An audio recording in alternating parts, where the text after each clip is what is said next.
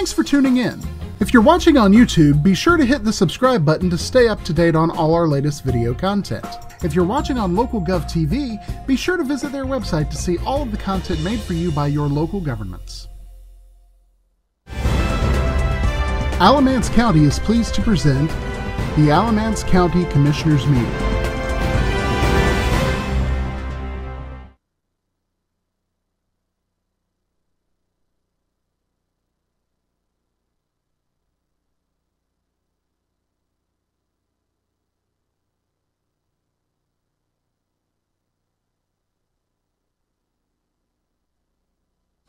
Present.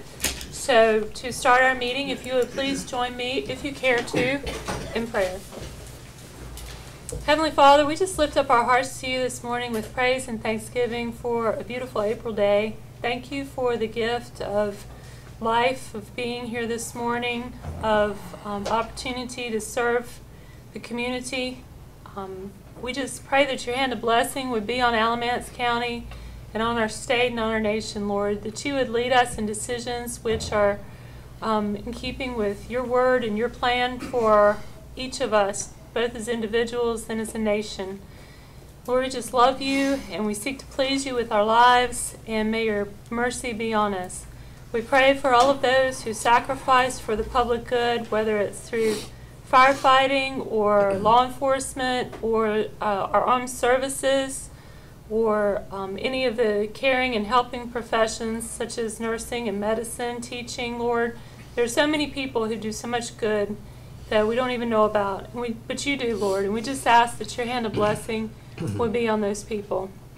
And Lord, we pray that you would guide the decisions of this board and that all that we do would be pleasing in your sight. In Jesus' name we pray, amen. Amen. If you would join me in the Pledge of Allegiance. Allegiance to the flag of the United States of America and to the republic for which it stands, one nation, under God, indivisible, with liberty and justice for all.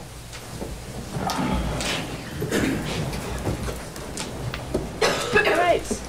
This morning we have something very, very special to do first. Very excited. We have, as you all know, I hope, uh, Susan Osborne is our was our director of social services, and she left us after a long and wonderful career for, with Alamance County. Now she's working for the state. But we have a deputy secretary for the North Carolina Department of Health and Human Services. We have Tara Myers is here today to present Susan with a very special award, the Order of the Longleaf Pine from the governor's office. A very well-deserved and wonderful recognition to somebody who has given so much to so many people for a long time. So, um, Ms. Myers, you want.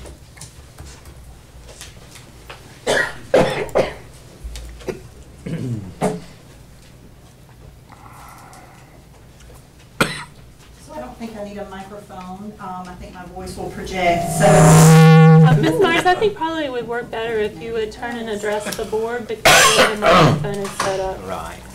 Um, because I think we will get feedback. And that's the way the camera works too, I think. Yeah.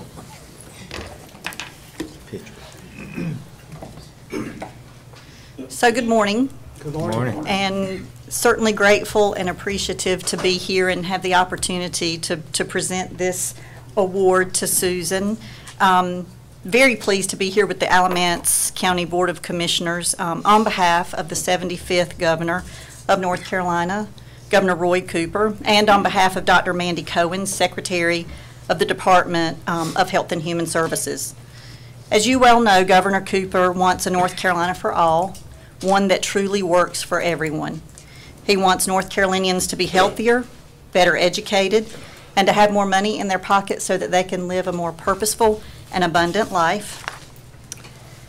As you know, those aspirations may be extremely large, and the road may seem long, but Governor Cooper believes, as well as I believe, when we work together, we can turn anything into a reality. A part of turning aspirations into reality is partnerships forged with local units of government. Local governments are our state's first line in service provision. Agencies like the Alamance County Department of Social Services make a difference daily for individuals, children, and for families. For more than 28 years, Susan has worked with the Alamance County Department of Social Services in many roles. She has dedicated her efforts to improving the health, safety, and well-being of Alamance County residents. Susan is recognized for her innovation and her leadership in county government, both at the local and the state level, and has been actively involved in numerous committees and boards throughout North Carolina. Representative Ross states, throughout her career, Susan has answered the call of duty. Representative Riddell says that Susan is not just a dedicated and innovative professional, she's also very warm, very friendly, and personable. And North Carolina can be proud of her foresight in program development and dedication to helping those in need. Executive Director of the Alamance County Partnership for Children shares these sentiments and states that Susan exemplifies what community collaboration is all about. Susan, Governor Cooper, Secretary Cohen, myself, as well as those that are here to celebrate you today, are proud of what you have achieved as Alamance County Director and amazed by the ways that you give back to your community. It's people like you who represent what giving and community is all about. So because of your dedication, your innovation, and your tireless efforts, Governor Cooper authorized me to bestow upon you North Carolina's highest honor for exemplary service, the Order of the Longleaf Pine. I'll get choked up.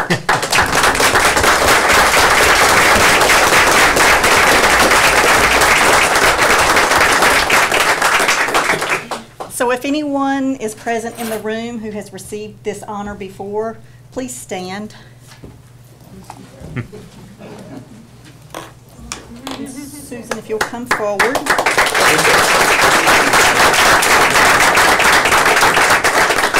So I would like to take a moment to read the proclamation. The state of North Carolina, Governor Roy Cooper, reposing special confidence in the integrity, learning, and zeal of Susan Osborne, I do by these presents confer the Order of the Longleaf Pine with the rank of Ambassador Extraordinary Privilege to enjoy fully all rights granted to members of this exalted order, among which is the special privilege to propose the following North Carolina toast in select company anywhere in the free world. Here's to the land of the longleaf pine, the summer land where the sun doth shine. Excuse me. Where the weak grow strong and the strong grow great. Here's to down home, the old North State.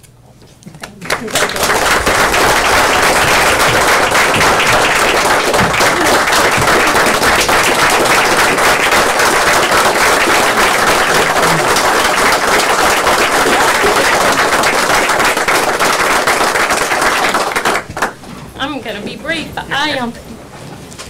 I just, I just want to say I am humbled by this honor. Um, you know, Alamance County is a very special community um, of staff and leaders that have worked as a team. Um, and we, and you know, Tim Britt said we do the right thing for the right reasons, and that's been um, awesome. I've been privileged to work alongside great partners in this community. Um, strong collaboration, strong relationships are the center at strong, of a strong community, and it has been my privilege and honor. And I thank you for letting me serve in this role um, and the support for Alamance County citizens and families. Thank you.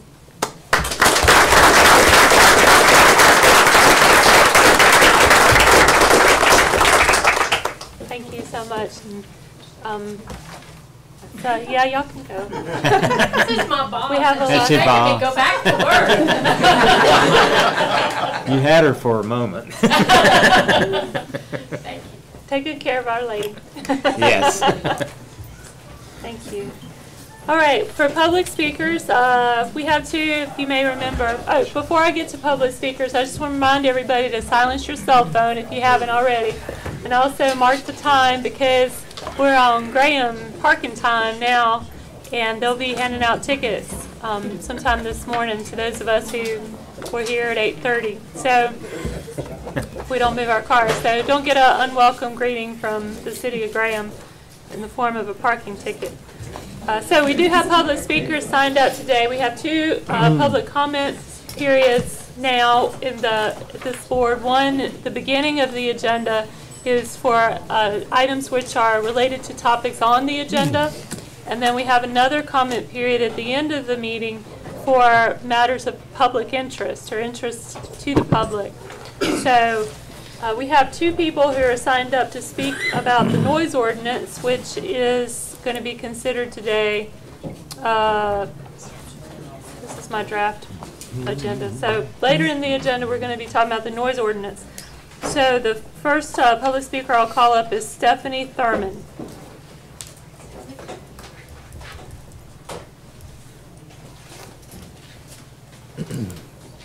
So if public speakers could please say their name and give us your address for the records of the clerk of the board and um, maybe spell your last name. Okay. Um, My name is Stephanie Thurman. That's um, T-H-U-R-M-A-N. Um, I live at 149 Clark Road in Snow Camp. And I'm here today um, to talk about the noise ordinance and the fact that the heavy industrial um, is exempt from the current ordinance. Um, First of all, I want to thank the steering committee because they're doing, they're putting a lot of time and effort into this initiative. Um, I mean, it's a big deal for our community. Um, and where, with regard um, to, I'm a little nervous, so this is going to kind of jump around. Um, let's see, let me look at my notes. Oh, and another thing with regard to the noi- noise ordinance, I do have a lot of empathy for the folks who have issue with gunfire because um, my husband and I lived on Wildlife Club Road for five years, and they have a huge gun range that's lighted. Um, so they were, you know, they were shooting until 10 and 11 o'clock at night. So when they got lights for their range, we moved not long after that. And we moved to Snow Camp. It was, you know, very quiet, um, very nice community. Um, we live two tenths of a mile from the stop sign at Snow Camp Road. Um, the quarry that is being proposed to be built out there is, the entrance to the quarry is just above our property. We're not considered an adjoining property because we live across the road, but um, with regard to the noise from the quarry itself, if it's permitted, that's one thing. But for us, it's going to be a double whammy because all of the dump trucks are going to go by our house. Um, so with living two tenths of a mile from the stop sign, they're either going to be gearing up, gearing down with their loud jake brakes and the noise from that. So, you know, you know, we have, it would, if this happens, which we really hope and pray that it doesn't, we, we need some help with the noise issue. We need to have a break from it. Um, these people have, you know, one objective here, and that's to make money for um, an extended period of time. Um, So, you know, I don't think that, you know, our comfort is, is really much of their concern. Um, Okay, hang on just one second. Um, you know, with, re- uh, okay, let me, let me add this too. Um, the solar farm is literally in our backyard. I know that y'all know that the solar farm was constructed um, by the end of, I think it was 2016. There was a mad dash to get it built before the end of 2016. So that was a mess, you know, but it's quiet. It's not pretty, but it's quiet. But it, That's the end of your three minutes. really, gosh, I was just getting to the good part. That went by faster than I thought. Be frustrating, that's for sure. Well, thank you. Um, all right, Gary Ulickney.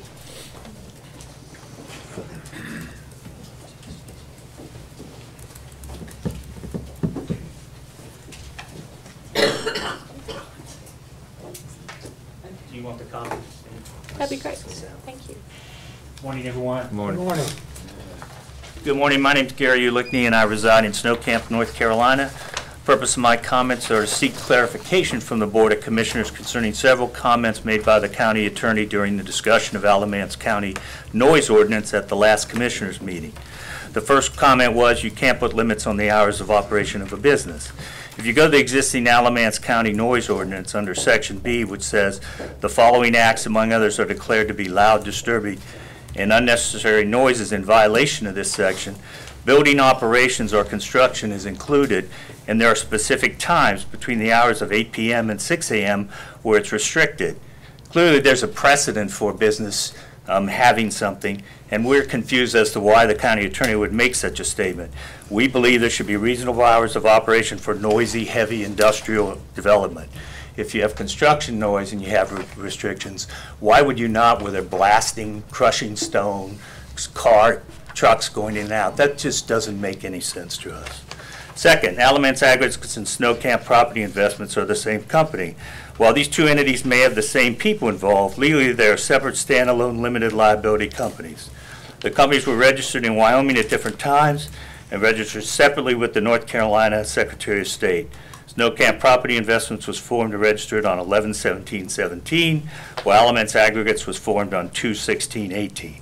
Snow Camp Property Investments is listed as the landowner on the county intent to construct permit, and Alamance Aggregates is listed as the mine operator on the state permit application. Clearly, these are two distinct companies doing very different aspects of the mine project. Finally, Alamance Aggregates is grandfathered into the noise ordinance that was in place when the county permit was approved. As I previously mentioned, Alamance Aggregates is listed in the state application as the mine operator. Nowhere in the intent to construct permit application is Alamance Aggregates even listed. Snow Camp Property Investments is the land and landowner and contractor. They will play no role in operating the mine, ensuring regulations are met. Alamance Aggregates is the operator and will be responsible for meeting the requirements for the operating permit, including ensuring that the regulations, including noise reduction, are met. We are confused. How can you grandfather a company that didn't even exist when the county permit was approved? We believe that Alamance Aggregates should be held to standards of the noise ordinance that are in place with the operating permit is approved. Another thing is, you know, whether we like it or not, this county's growing, and we need a common sense approach to that growth, something that protects the people of this county, but protects the culture of this county. And you, as our elected leaders, we look to you for guidance. We hope you'll step up and do the right thing in this situation, and let's put in an ordinance that really makes sense for everybody involved. So, thank you for your time and your response. Thank you, Dr. Ulickman. All right, that's all the public speakers we have signed up to speak about agenda items. So do we have any commissioner responses? I I guess I have a question for the attorney. The fact that uh, they are two separate entities, and as he just stated, one wasn't actively in business at the time of the permit, how does that, how does that work? Well, As I stated at the meeting, I think you misquoted me. I don't know the intricate, intra workings of these two corporations. I don't know who owns them, haven't done any research on that.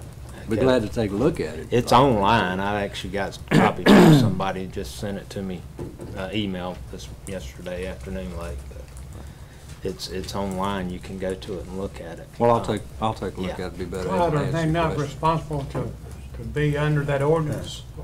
If they got the permit with that ordinance in place, aren't they liable to, aren't they obligated to obey the rules?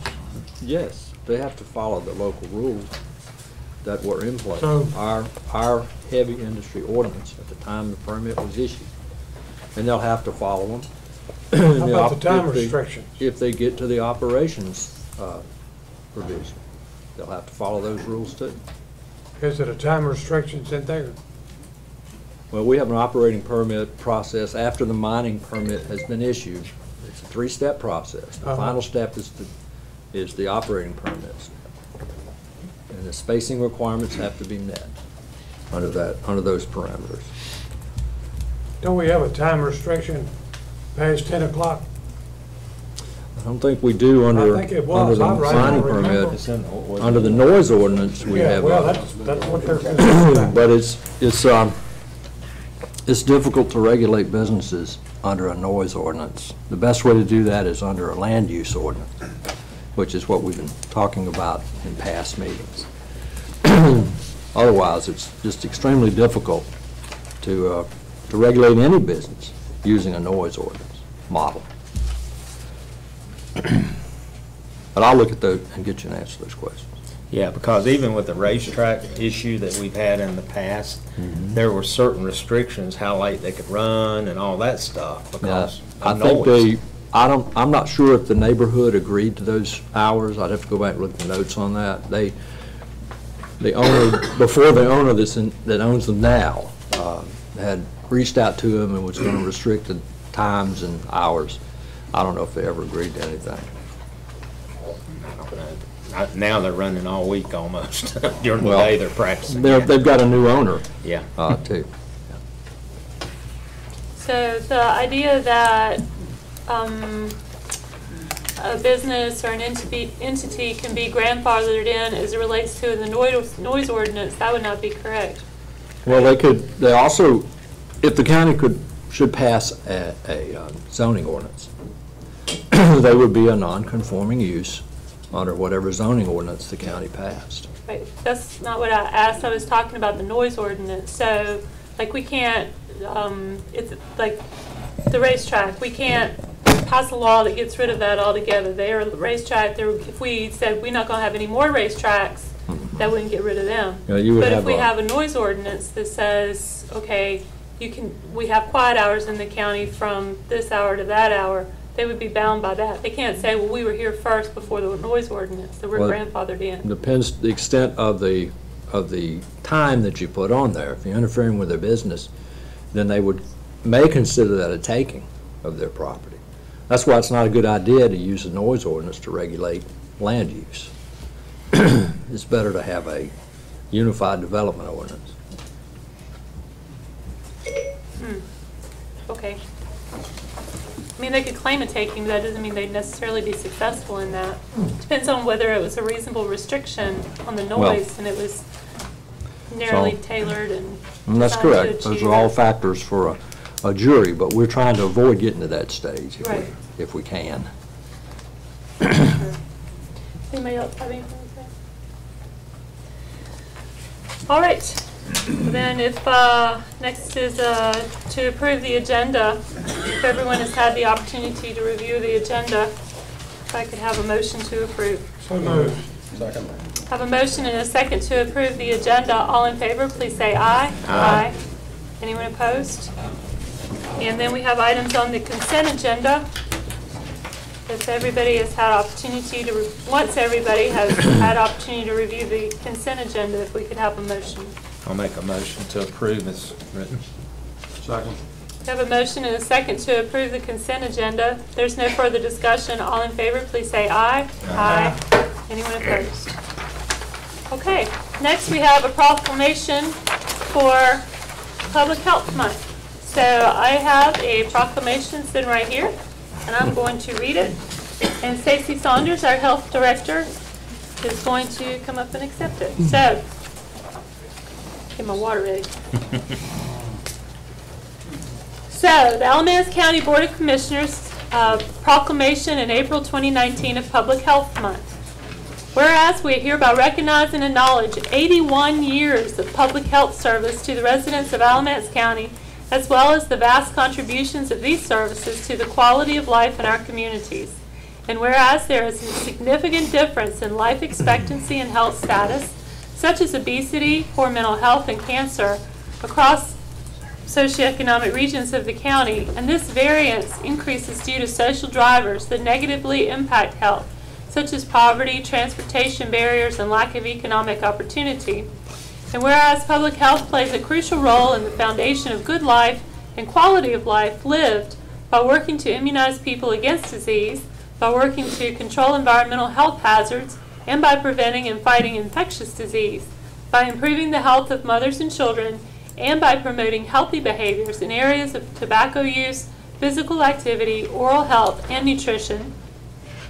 And whereas public health plays a critical role in eliminating health inequities and preventing chronic disease and injuries, resulting in improved productivity and decreased health care costs for all Alamance County residents.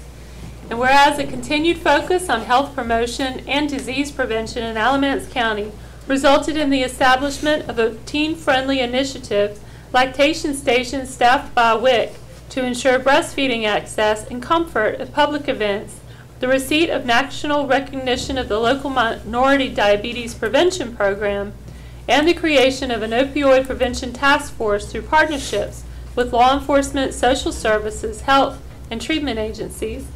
The move towards centering pregnancy as the prenatal standard of care, each providing well, health and wellness opportunities and programs to benefit Alamance County residents.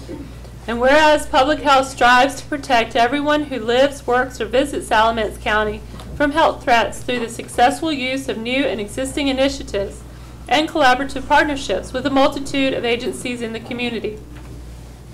Now, therefore, we, the Alamance County Board of Commissioners, do hereby proclaim April 2019 as Public Health Month in Alamance County and call upon the people of Alamance County to observe this month by helping our families, friends, neighbors, co-workers, and leaders better understand the value of public health and supporting great opportunities to adopt preventative lifestyles in light of this year's national theme, Creating the Healthiest Nation, for Science, for Action, for Health.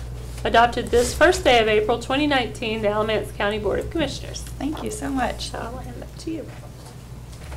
Thank you all, and thank you um, to Mr. Carter for serving on the Board of Health and um, to others who have served in the past on the Board of Health. So we appreciate each of you and um, your support of the Health Department and the services and the program we did.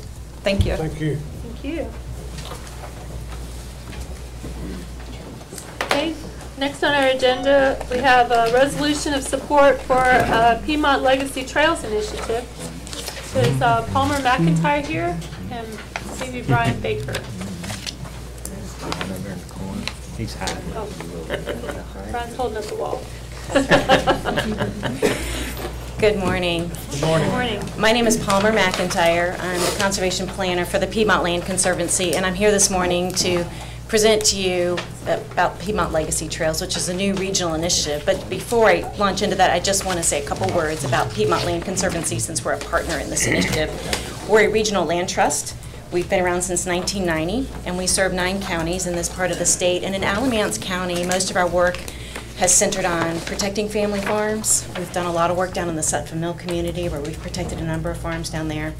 This ensures that these farms are there for future generations, that those good soils that your county has are there for future generations. Um, we have a memorandum of understanding with your voluntary ag district board and with your soil and water conservation district. So we've done a lot of work in Alamance County. And for this initiative, we're partnering with the Piedmont Triad Regional Council. And the Piedmont Legacy Trails Initiative is pretty new, a couple years old. And the purpose of it is to raise the profile of trails and greenways across the county. There we go. Um, imagine for a minute our region, and this is the 12 county region that PTRC serves, as a network of connected trails, all kinds of trails. Now, there are lots of trails already in our region, especially in Alamance County. You have a tremendous network with your Haw River Trail Network. Um, we also have several state, a number of state parks in our region, as well as urban greenways, so many, many trails. But the purpose is to um, raise the profile of all these trails. And we're not just talking about land trails, we're talking about blueways. We have great rivers in our region, tremendous recreation opportunities for people to canoe and kayak and fish, and we want those water trails to be a part of this network. So the mission of Piedmont Legacy Trails is to advance regional connections and branding of trails through technical assistance, education, and resource support for trail projects throughout the region. So what this looks like, we do several things related to this. We're a local and regional advocate for trails. We are branding trails through our logo that you see on the slide. We have been in the process of handing out signs that local communities will post on select trailheads to let people know that they're part of a larger network of trails. Um, we have very active social media marketing presence. We have an interactive trails map. Right now, if you want to go find information on trails in this region, you have to go to individual websites. We're packaging all that together through PTRC and through the PiedmontTrails.org website, so you can go to one place and find information on any trail in the region. And we hold an annual trail summit to educate folks and to share information about trails for everyone across our region. And in fact, our summit was for this year was just a few weeks ago when we honored the Haw River Trail Network with a Piedmont Legacy Trail Award because we're so impressed with the work you've done. And so why trails? Well, trails are the intersect of so many benefits. The health benefits that relate to the public health um, acknowledgement you just made, environmental benefits and economic benefits. So I'll run through these really quickly. So for health benefits, trails offer free access, recreation for people. They help promote an active lifestyle, and we know that that translates to improved health. We have some data on that. We know people want to walk. They want access to trails. Um, the East Coast Greenway has an example where they've documented the number of hours that people have used those trails. This is over in the Raleigh-Durham area. And they've also have collected some data on health care cost savings, which translates to over a million dollars. So these things, there is some, there are some studies out there that relate to this. Environmental benefits, trails usually occur in areas that are floodplains or um, ha protect habitat corridors, pollution prevention, they offer opportunities for education. So there's a lot of environmental benefits, but there are also many, many economic benefits. There are many studies that show that the investment in trails, which seems like a lot at first, will come back and pay off dividends for years to come. There are many um, local studies for that. So High Point has a study, Mount Airy just did a study, where they show the return on their investments in trails along the Ararat River. And they also provide an opportunity for new businesses to come. And here in Alamance County, we know for a fact that you all, your trail system is seeing growth. There's about 300,000 people a year who use it, and that's ticking up. And there's also new businesses, new outfitters that are operating in the county related to that. Um, there's also, so it can stimulate a lot of side businesses as well. People want to come to your area to use your trails. And trails are a tremendous community asset for the people who live here. We know that people want to live near trails. In fact, real estate agents in your county are using the Haw River Trail or other trails as an advertising basis for their for marketing their homes. And for economic benefits, uh, the town of Elkin is a good example where they had suffered from a decline in manufacturing. They reinvented themselves as a trail town. They've got several trails going through there similar to Alamance. You've got the Haw River Trail, you've got the Mountains to Sea Trail that's connected to the Haw River Trail. Well, they have the Mountains to Sea Trail, the Over Mountain Victory Trail, which is a Revolutionary War trail, and then the Yadkin River Trail. And they're seeing tremendous increases in numbers of users, increases in businesses, and their whole marketing town, their tourism development folks are all about marketing Elkin as a destination. And it's working. So why trails? Um, again, this is what we hope that you all will support, this uh, resolution. Uh, most of the other counties in the 12 county region have already adopted it. Your Recreation and Parks Commission did adopt this resolution in January.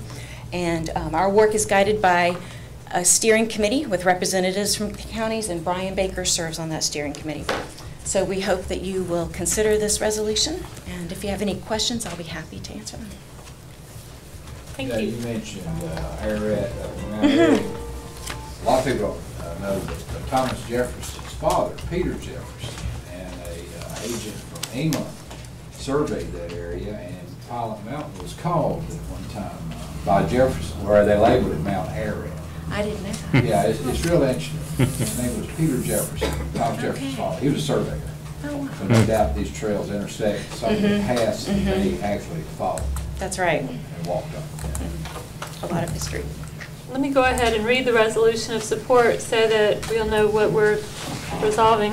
Um, Whereas Alamance County is committed to enhancing the quality of life for its citizens and recognizes that supporting Piedmont Legacy Trails will help create a regional tr- network of trails, including greenways and blueways. And whereas trails provide key amenities to neighborhoods and safe areas for our citizens and children to travel, exercise, play, and connect with nature and communities. And whereas trails have significant impact on the economic viability of the region through increased tourism, enhanced property values, as well as the ability to attract and retain businesses to the region due to improved quality of life. And whereas committing to this resolution may help leverage funding from federal, state, local, and private sources for trails. And whereas Piedmont Legacy Trails is coordinated by Piedmont Land Conservancy, which is dedicated to preserving important natural areas, and the Piedmont Triad Regional Council, which is a regional planning organization. Now therefore be it resolved that Alamance County supports Piedmont Legacy Trails in partnership with neighboring communities to implement a system of regional trails that connects our communities, people, and regional points of interest for years to come. So that would be the resolution. You need a motion to approve that, right? Yes, So sir. moved. Thank you, Mr. Paisley. Second that. Thank you, Mr. Boswell. We have a motion and a second to approve the resolution. Uh, Is there any more discussion? Got a question. Will there be an app that you can use on a mobile device so when you're walking the trails and showing maps and so forth? So the website piedmonttrails.org is mobile friendly. Okay. So when you pull up that interactive map, it does work on your mobile device. And it's, ra- it's active, so you can try it out now and see, and we'll continue to build it. I've walked most of these trails. They are excellent, Good. excellent. I've been up in Elkin area and they have a big event there They- off of the Mountain Sea Trail and stuff. And it's Mhm. really neat. It does draw a lot of people in. And it brings people together. Yes. There's a lot of opportunity to be explored and all of that. So is there any more discussion? If not, all in favor, please say aye. Aye. Anyone opposed? Okay. Thank you very much for your time. Mr. Hagood, do you have information for us from the outside agencies and the occupancy tax recipients? I do indeed. Good morning, Commissioners. Uh, This is, uh, this morning's kind of kicking off our budget process for fiscal year 1920. So what I'm going to do is just go over briefly information about the uh, agencies that are requesting funds that are not uh, necessarily uh, county government departments, and I'll also touch on the agencies that are requesting occupancy tax dollars. So, um, and we have uh, representatives from each one of these groups are here today. Some are here in our meeting room and some are in the uh, overflow over in the courtroom too. So when I'm finished, if you've seen anything in the information that we've provided you uh, prior to this meeting or whatever I go over, if you have questions specific to an agency, they're here and are prepared to speak to you. So uh, just uh, a little bit of information about the outside agency requests. Uh, We've had requests from 11 different outside agencies. There are no new groups this year, so uh, it's just the, uh, the folks that have asked for funds in the past.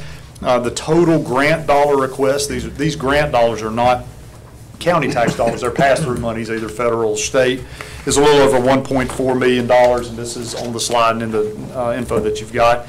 The total county dollar request at this time by these 11 outside agencies is $828,821. So the total uh, dollar amount requested by the 11 agencies, that is grant money plus county money, is $2,298,904. We have seen this year an increased uh, request for county dollars. The, uh, the agencies are requesting 63,512 additional county dollars uh, over what they were funded last year. That's about an 8.3% increase. So when you look at this slide, you see it looks like the grant uh, allocations are a little bit lower uh, for some of the groups, but uh, for some of these groups, we won't know exactly what their grant budgets will be until the state uh, allocates funding, so that will change throughout the course of the year, but uh, we'll stay on top of that. So just, just to touch on the different requests from each agency, we have Friendship Adult Day Service. They are uh, asking for no increase in county dollars. Alamance uh, County Community Services Agency is asking for uh, a little more than $7,400 increase from county government. Uh, Meals on Wheels is asking for an $11,575 increase in county funds. Alamance County Rescue is asking for no increase in county dollars. ACTA, our Transportation Authority, is asking for uh, an increase in county funding by $36,563. Elder Care is asking for a increase in county dollars by $1,900. The airport is asking for no increase. Uh, Family Abuse Services is asking for an increase in county funding uh, in the amount of $5,000. In-Home Aid and JCPC, our juvenile justice group, they are asking for no increase in county funding. And the Piedmont Conservation Council is asking for an increase of $1,000 over last year. So uh, I'm going to move just on to occupancy tax information for the board. So when it comes to occupancy tax this year, we have had four uh, groups request occupancy tax dollars. We've had no new groups ask for occupancy tax funding this year. And one group, the Snow Camp Outdoor Theater, did not uh, submit an application this year. So um, the total projected occupancy tax that we are currently projecting for next fiscal year is $913,000. That's an increase of about $68,000 over last year's projection, about an 8% increase in occupancy tax. We're watching this as it continues to come in because we collect this uh, every month.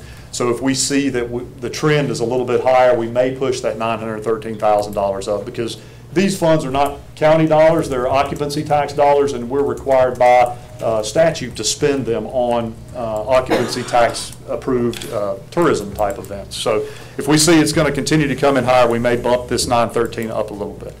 You can see on the slide, the county by, by statute takes a 3% administrative fee off the top. Now, right now, we're projecting that administrative fee to be $27,390. That's for county government to uh, take in uh, as we uh, offset the cost of administering this tax. Then out of the remaining funding, the Tourism Development Authority, the TDA, by statute, gets two-thirds of the money. So right now, we're projecting the TDA will receive an allocation of $590,407. And then they have systems internally where they distribute those monies out for all kind of different tourism-related functions. But uh, again, by the statute, the county retains one-third uh, of the funding, and we're projecting that to be $295,203. So those are funds that county government retains, and we have traditionally uh, allocated those out to the groups that you see on the slide. Those would uh, include the African American Cultural Arts and History Center, the uh, Alamance County Historic Museum, Alamance Arts Council, and the Glencoe Textile Heri- Heritage Museum. The um, African American Cultural Arts and History Center and Glencoe Textile Museum were both new last year. So uh, the Historical Museum and the Arts Council have been receiving occupancy tax for some time. And uh, each one of these groups is asking for an increase in their allocation. Uh, African American Cultural Arts and History Center are asking for a $70,000 increase in occupancy tax funding. The uh, Alamance County Historic Museum is asking for a $9,973 increase. The Arts Council is asking for a $20,000 increase, and the Textile Heritage Museum is asking for a $13,270 increase in occupancy tax funding. All of this adds up to be a total request of $373,973. So that's, right now, uh, a little over $78,000 more than we're projecting. Now, that- again, that could change, as we'll watch for the next couple of months as we get closer to manager's recommended budget to see if we need to push that occupancy tax projection up. So we're off $78,000 between requests and what we think we'll have, but that may come down in the next couple of months. So I'll be happy to try to answer any questions, but I would encourage you to, uh, if you've seen anything in these uh, slides or in the information we provided you over the weekend uh, that you want to ask, the- the reps are here, and I'm sure they would be happy to answer any questions. So at this time, uh, Chair, I'd turn it back over to you, and I'll be happy to help also. Thank you. I'm sure you gentlemen have some questions. So now's the time to fire away. Brian, uh, these slides that you've shown, they weren't in our packet. No, but I can provide you a copy of them. I I would like a breakdown of what you just showed us. Sure. Yeah. I know, that's- I'm trying to follow that, and I couldn't, I I didn't think I'd seen it. so. Uh, I know you have an individual request here, but Yes. that overall picture would be nice to look at. Certainly.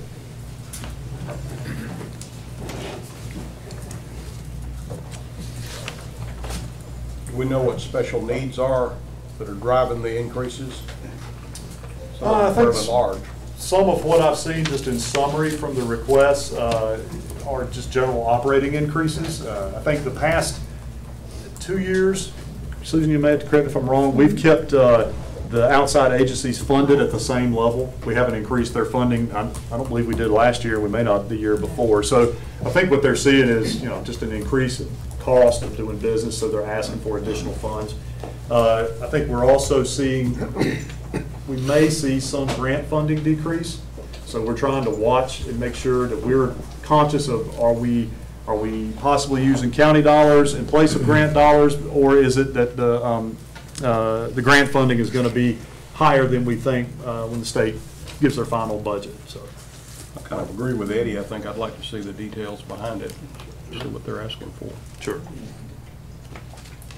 Uh, Bill, can you give a little report on your status out there? I'll be glad to.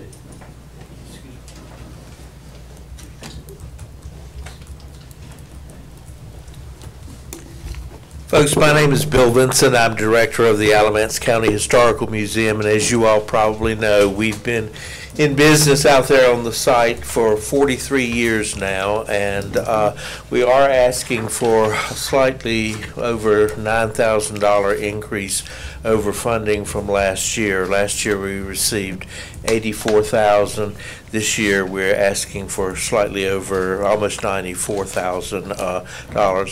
A large portion of that increase is uh, as a direct result of a problem that we're facing relative to one of the buildings that contributes to our National Register nomination. That is the Granary Building that was built in 1874 by John and Emsley Coble, who were local vernacular builders. Um, They constructed the granary and the corn crib there on the site. And those are important and significant uh, historical buildings in the sense that there are very few of these rural buildings uh, that remain in the area. They were building in a Germanic um, construction technique using mortise and tenon joinery and so forth, and we have very few buildings like that left in the county.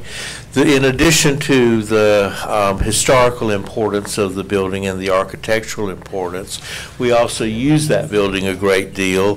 Traditionally, a large portion of our textile uh, collection has been stored on the second floor of that building. And in addition to that, the building is used for classroom space. Our Leadership Alamance program is held uh, in that particular building. We use it for the schools that uh, come out to the museum site uh, to kick off the um, tours that we do uh, of the site, and we also use that, the downstairs floor for some exhibit purposes, quilt displays and things of that nature.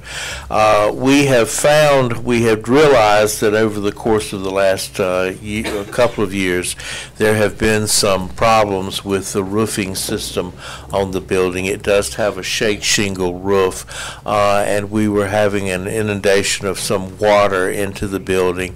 As a direct result of that, we have had to move the entire collection out of that building. This year, we were able to use it for leadership alamance, but I don't think that we will be able to do so this coming year. Um, we had the building inspected by the um, an architectural uh, firm and also by the State Preservation Office. This was done back in uh, November of this year. And in addition to the roofing problem, they found that there is a major problem with um, one of the sills in the flooring of the building. There's a major crack. It's not broken all the way through, um, but there is a crack in the sill. Uh, They are suggesting that in order to correct that, that the building is going to have to be lifted up and a new sill put into this building, and that should be accomplished before the roofing situation is addressed. We have been told that it will probably take us about forty-five thousand dollars to correct that. Um, we are in the process of trying to raise some of those funds. We have a grant in place through the federal government, which we do not know what the outcome will be yet. We probably will, will know in either May or June whether we will get any funding there. We did establish in February a GoFundMe page um, for this particular building, and that has resulted in about a seven thousand dollar um, uh, donation to the project. We are asking for this increase in funds, uh, basically for your support, which will be about 20% of the total amount that we're looking for on the building. So that's the main reason for our increase um, that we're asking for today. Any other questions? How long you about been that? I have been there since 1988, um, so a long time. Um, as you all probably know, I was finishing up my dissertation and I was asked to go out there when Peggy Boswell left, and I told them I would serve for a year. Um, and now we're 30 some odd years later, and I'm still at the site. So it's what turned out, it has turned out to be essentially a lifetime career for me, basically. So thank you all. I'll We're be glad to have answer you, by the way. Thank you, sir. We appreciate it very much. And we thank you all for all of your support. Thank you. Thank you. Any more questions? Uh, the, you're the museum director. Who's the museum director? Is she here today? For the African Afro-American, American. Jane, yeah. yeah, Jane's Is she- here I too. thought Jane was. Yeah. Can you tell us a little bit about uh, what your uh, use, desire for the use of the increase? Yes, thank you. Um, As you know, we're still, still kind of new, and we have a lot of work. Alamance County's African-American history has not been documented forever, really, other than in our own individual homes and, and different individual, uh, some museums share some of Alamance County's African-American history. So we've got a lot of catching up to do. And even though I have, I'm a native of Alamance County, been born and raised here, been researching for over years, I've collected, our collection has tremendously increased from us introducing the African American Culture, Art, and History Center. But because it's a lot of work, people, the, the type of people that we need to help to move the center forward, they need compensation. And so we're asking um, the county to help with salaries. Also, because our, in- our collection has grown, we have, we need the, what we call the isotonal boxes to preserve the documents, original documents and stuff. And so we need money to purchase those things, and they're not cheap. They're very expensive, I'm sure. Um, Mr. Benson can attest to that, because, you know, we partner with different things and help each other with that. So basically, the more, majority of it is to ask for financial support to hire people to help us to move this center forward. We are constantly and looking for a space. Because our collection has grown, the space that we thought we were going to be looking into a smaller space, we actually need a larger space. We uh, have been reached out, I don't know if any of you are familiar with Roberta Flack. Um, She's from North Carolina. She's offered to donate us one of her pianos, her gowns, and her music collection to be at our center in Alamance County. And we've also gotten re- uh, responses from other people from Alamance County that are famous that want to have some of their things. But that's just those, we're talking about Alamance County people. We have so much of their collection. Dr. Thomas, we have his whole collection that was in his office, dentist's office. That's a large piece. And so our space is growing, our collection is growing, and we need support. We appreciate everything that you all have done for us last year. It was great, and we pre, we hope that you continue to support us. I do have, uh, I put together this. I wish I had enough for everybody. I wasn't for sure, I've just prepared. But if you, if I may? Of course. So you could, um, let you. Thank you. That's, that's just an overview of the work that we did last year. That by no means is all that we did. We've done so much more than just that, but that's a brief overview of that. And if we have a, uh, an opportunity to present again, then that book will probably expand, because I didn't get to get everything in there this time, but that's, that's a brief overview of 2018. And I would like to invite you all to our upcoming event in May, and we have one in June. And May, we'll be talking about um, the riots of 1969. It's a documentary. It is um, a part of our history that we have to discuss because it is a part of our history. But um, it will be at the Paramount Theater. We had a company all the way from Atlanta, Georgia, to reach out to us to do this documentary for us at no charge. So that was, that was a blessing. And then uh, someone from California offered the first $100,000 to, for the production company to do this. And I think it would be great if you guys, if you all could come. Do you And have a date in, It will be, you all will be invited to the first uh, viewing of it, which will be May 31st, is on a Friday evening. And all of the community leaders will be invited to that first viewing. And then on that, June 1st will be open to the public. And then, um, let me get, June the 8th, we will have, we'll be honoring Alamance County's African-American notable men. Then we hope you all will be able to come to that too. You have any other questions? Gullah Geechee baskets, you'll sell everyone. You know what? You know what? I intended to go to Gullah Geechee, what you uh, suggested last year. Unfortunately, I wasn't able to because uh, I had a lot of stuff happening right after that. My father-in-law had di- diagnosed with stage four colon cancer, and I became his caregiver. And from October 18th to November 18th, I mean, October the 18th, he got diagnosed. He passed away December the 18th. And so from October to December, I was pretty much out of it, being, having to go back and forth and taking care of him. And then right after that, in January, I had some other issues with myself, but all is well. But we still, we keep on going. This center is bound to be open. This is very important history, and I think you all believe that and support that with us, and I just, we're just gonna keep on going. I appreciate all of your support. If you have any questions for me, by all means, my number, you can call me. I'd love to sit down and talk to you individually and go over, uh, to answer any questions that you have. Do you have a location you're focused on right now? We, uh, we were looking at primarily downtown Burlington, but our scope has expanded since then. We would like to be downtown because downtown was where the first black businesses were established in the Black Bottom.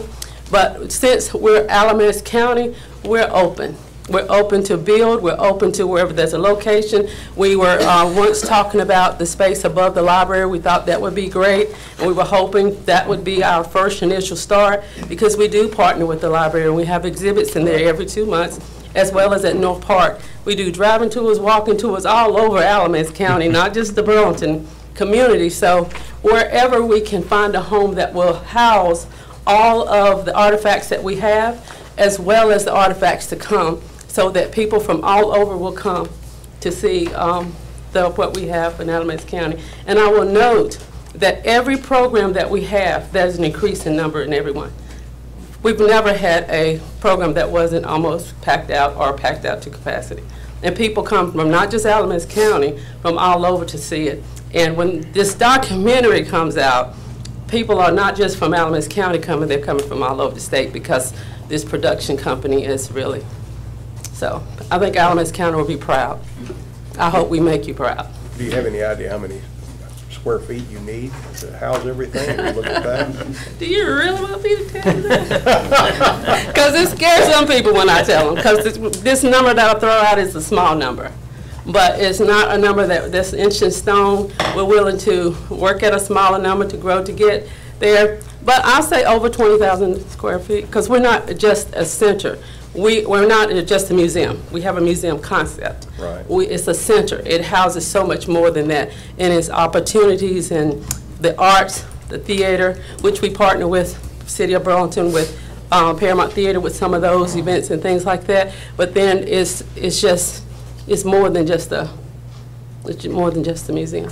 Are you looking at rotating your exhibits, or do you want all your, all your exhibits displayed year-round? Well, there will be rotating exhibits because we have so many. We have so much to show, but there'll be, I project, maybe have them three-month increments and announce to the community what's showing now. Then there will be some permanent exhibits that will just be there for people to always come in um, to see those. Right. So, but um, I think a lot of people don't realize that what goes on behind the scene is much larger than what you see when you come in. And so when you look at 20,000 square feet, the the exhibit space may only be 1,000 square feet. Just to be, because behind the scene is much more. You have to have a place for the the artifacts to come in, have to be authenticated, you have to have people collect them, they have the place to be stored, they have to have climate control rooms. It's so much larger than that. So, and I've, I've done my research. I've traveled in and out of the state of North Carolina to do this. This is not a fly-by-night. This is not something we just thought of. This is something that's real and sustainable. Uh, I desire it to be sustainable for years to come. 100 years when I'm gone, that people will still come in and learn of this history, and someone else will take over and continue to expand on and preserve this history. Because it's all about history. We're all together. Thank you. You're welcome.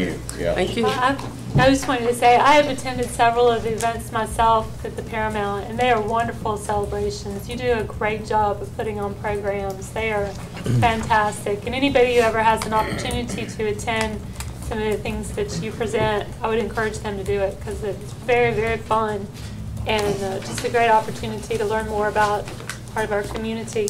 I did have a couple of questions. Um, What, so you got $25,000 from the county last year? Yes. What did you spend it on? Okay, those were the salaries. We, we asked last year for a full-time and a part-time salary person. Of course, you know, twenty-five thousand after taxes, state and federal taxes come out, it's not a lot. So it was really just broken down in half. And then in, in a lot of that also went towards purchasing some of those things to, um, keep our, to, um, protect some of our artifacts. So even though it went, was supposed to have been for salaries, all of it couldn't go for that, because you know $25,000 is not a salary. And then, um, what about private fundraising? Have you been able to raise a lot from the community?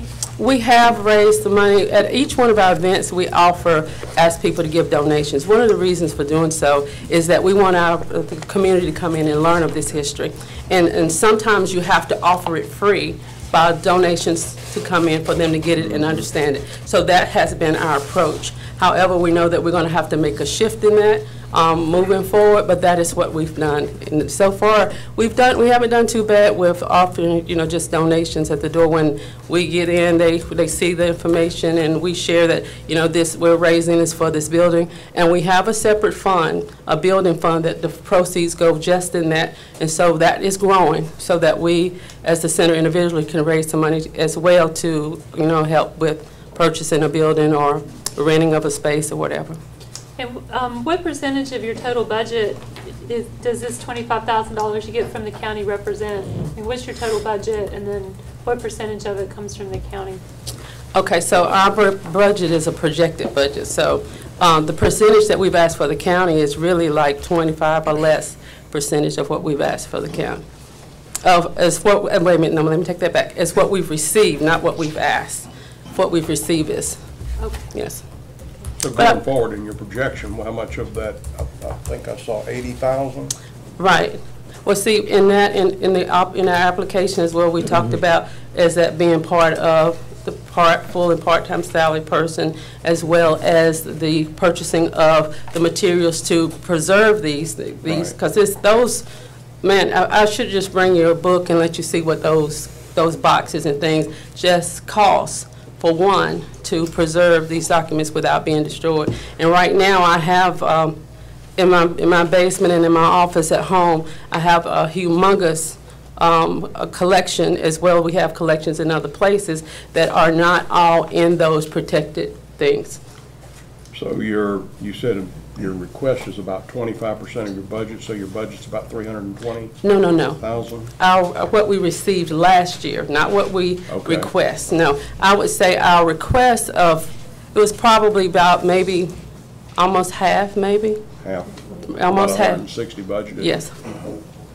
And that may be, you know, I'm just, just thinking, um, I'm thinking maybe about half. I'd have to really go back and look at what we requested from other agencies or what we're projected to request from grants and all of that. But taking consideration, this is new and this is part of building a center or renting the space and getting all the equipment in our, our initial start is gonna cost more than what we need when we, you know, get going because we have to acquire the space first, acquire all the, the, um, the furniture and everything that goes in, into it.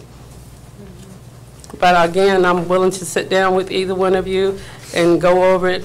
Um, I'm very open to, to whatever. And also, if you happen to miss our programs, we are aired on the local Spectrum channel. About all of our programs, except for one last year, is uh, on that Spectrum, on the channel.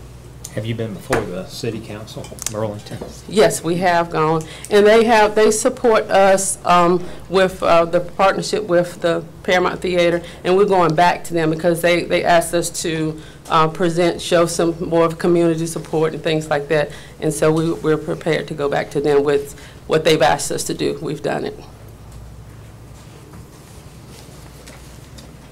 All right, are there any more questions either from Ms. Sellers or anybody else from the outside agencies and occupancy tax? I think you can. Okay, thank you. Thank you. Thank you.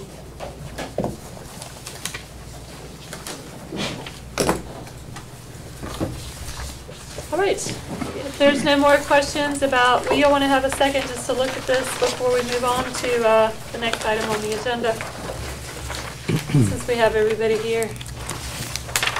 And obviously, if uh, y'all review the request and come up with more questions, we can ask somebody to come back to another meeting in the future. We've got a couple months before. 'cause, uh, I'd like to hear from the airport authority over there in the corner. Just see what's going on at our local airport. You knew I was gonna put one on you, didn't you, Dan? Too tall to hide over there, Dan. Hello, everyone. I'm Dan Danieley with the Airport Authority, and thank you for having me, and thank you for hearing our request. We're always building, we're always uh, under construction, we're always growing. Uh, We actually today have a waiting list of approximately 25 people looking for hangar spaces, and uh, hopefully we'll be breaking ground uh, soon this summer to build another set of T hangars. Uh, We slowed down with that a little bit. Uh, We ran into the impervious surface regulations, and so we had to uh, face building another retention pond. We have five on the field now. And our ponds cannot hold water. So to to who was talking about fishing earlier today, we have to build, we have to build ponds that will drain water uh, within a matter of hours so that it doesn't attract waterfowl that gets in the way of airplanes. That was going to be a very expensive project, so we put building hangars on hold for a little while, and we about have this worked out now, so we'll be breaking ground again soon for some more hangars. Um, Like I said, we've got about 25 people with, on a waiting list. Uh, Most of those aircraft are small, single-engine planes, or a couple of twins, and there's one jet involved in uh, the request for hangar space. So all that's looking good for us. Construction is going on again with things, we're doing some uh, uh, master planning right now. And the master plan will be a a 20-year document, and I look forward to showing that with you. In fact, we'll be asking some of you to join our planning team uh, as this organizes, and uh, look forward to sharing future plans with you all. Uh, What we have coming up for the current year? Uh, We currently, we have uh, some TIP funding uh, from the state. We're looking at several large projects.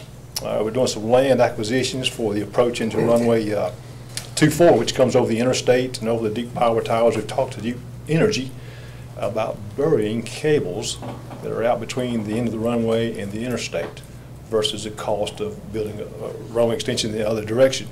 So that's being worked on right now, meeting with those folks, uh, navigation easements to that. uh, uh, Our culvert under the runway where we extended a few years ago, we built a runway across the creek. We're having to rehab that culvert just a little bit to make sure it holds the airplanes up. And we're doing a taxiway rehab that'll be breaking ground in about six weeks uh, to meet some FAA specs. Um, Again, oh, and the sewer line, uh, If if you remember, we came in and asked uh, for your assistance in helping us with the sewer that the city was going to install. Uh, The city had projected a cost, and when they bid it out, the bids came in almost double of that projected cost. So the city is now taking a new look at how they would do the sewer line, and so we're just kind of on hold until they do some redesigning and maybe incorporate it into a different area of how services through the city's sewer lines, if you will. I'm not into that very well. We're kind of on hold right now until we find out from them, which again was another slowdown of building hangars that need need the bathrooms. So we'll be coming back to you very soon with a report, I hope, on the sewer line uh, progress. I never knew when I got into the airport business that sewers were so important to airports. Uh, We also are, are working with the FAA to install an ILS monitoring system this year. Uh, That will cost us $105,000. The uh, ILS monitoring, uh, for those who are aware, instrument landing system, and we've been fortunate to have that for several years now. That allow- allows the pilots to uh, make an approach into the airport when it's cloudy and they can't see the runway until they get down within 200 feet of the runway. But it's not monitored. So what does that mean? If it actually goes out of service, no one knows that until the pilot realizes it's not working. And so we have asked the FAA to put in a monitoring system, and the controllers at Greensboro Tower would actually see a physical monitor and be able to know that it is or is not working, and be able to alert, put out the notice to the air, our pilots, uh, the system's down, let's get the guys out there right away to get it repaired. So that's an important safety feature we're working on right now. Just, just a whole array of projects going on. Uh, Love for y'all to come out and visit. Any questions from anyone? Has Honda expanded any on their facility? Yes, Honda had added, I think it was 42,000 square feet about a year and a half ago to their facility. Uh, So yes, they have ex- expanded. I haven't spoken with those people in, in a few weeks for an update, but uh, they seem to be doing very well. I had read an article recently on how many of their jets they have sold. uh, I want to say maybe 35 or something, but. uh, Do you so- have any housed over at your airport? They're- we don't have any Compact. Honda jets housed at at Burlington. They do come in from time to time, and I'll grab them on the cell phone and snap some pictures of them. But, uh, but they do come through. Uh, I loved, again, to share with the director at Greensboro Airport, uh, Their Honda facility, of course, is maybe four times the size of ours, and that's a really big thing for Greensboro. But I'd love to share with him that uh, there are, jets are not squat without our engines. You gotta have that. So- They're lined up like two cars in They the are. parking lot. Are they really? They are. They are. You see them from the highway. Yes. But Anyway, thank you all for your great support. Thank Thank you. Does anybody have any more questions for somebody else? All right. If not, then we will move forward with our agenda, and that would mean next is Dr. Algie Gatewood. The Alamance Community College budget presentation. Good morning. Good morning. Thank you, Madam Chair, members of the commission. It's, it's really a pleasure to have the opportunity to present our proposed budget to you this morning. Uh, Before I move forward, let me just say that I have with me this morning Ms. Cindy Colley, who is the Chief Financial Officer for Alamance Community College. And at some point, I will ask her to speak specifically to the dollar amount and what each item is for, as well as what we did with the funding that we received last year. Also have present this morning Tom Hartman, Mr. Tom Hartman, Tom? And uh, Mr. Hartman is our Facilities Director. Alamance Community College, Cindy, is in its 61st year of operation. That means that we are now almost old enough to qualify for Social Security. What that really means is that we've been around for quite some time providing education and training to the people of this county. Currently, the college offers more than 43 curriculum programs, and that's up from only 29 curriculum programs about six years ago. Those programs range from nursing to mechatronics to university transfer to biotechnology to welding. Now, let me pause on welding just for a moment. We've had some interesting developments in our welding program. The first is now we're offering blacksmithing. Now, you may think that, hey, that's not new technology out there, but that's, it's really neat. I'm not talking about horseshoeing per se, but it could include that. But ornamental welding and all of those things that are needed today. Second, we've added midnight welding. Now, that is not a type of welding. That is the time of night that we offer the welding. Here's what happened. Once we got settled into our new advanced applied technology building, the welding enrollment escalated.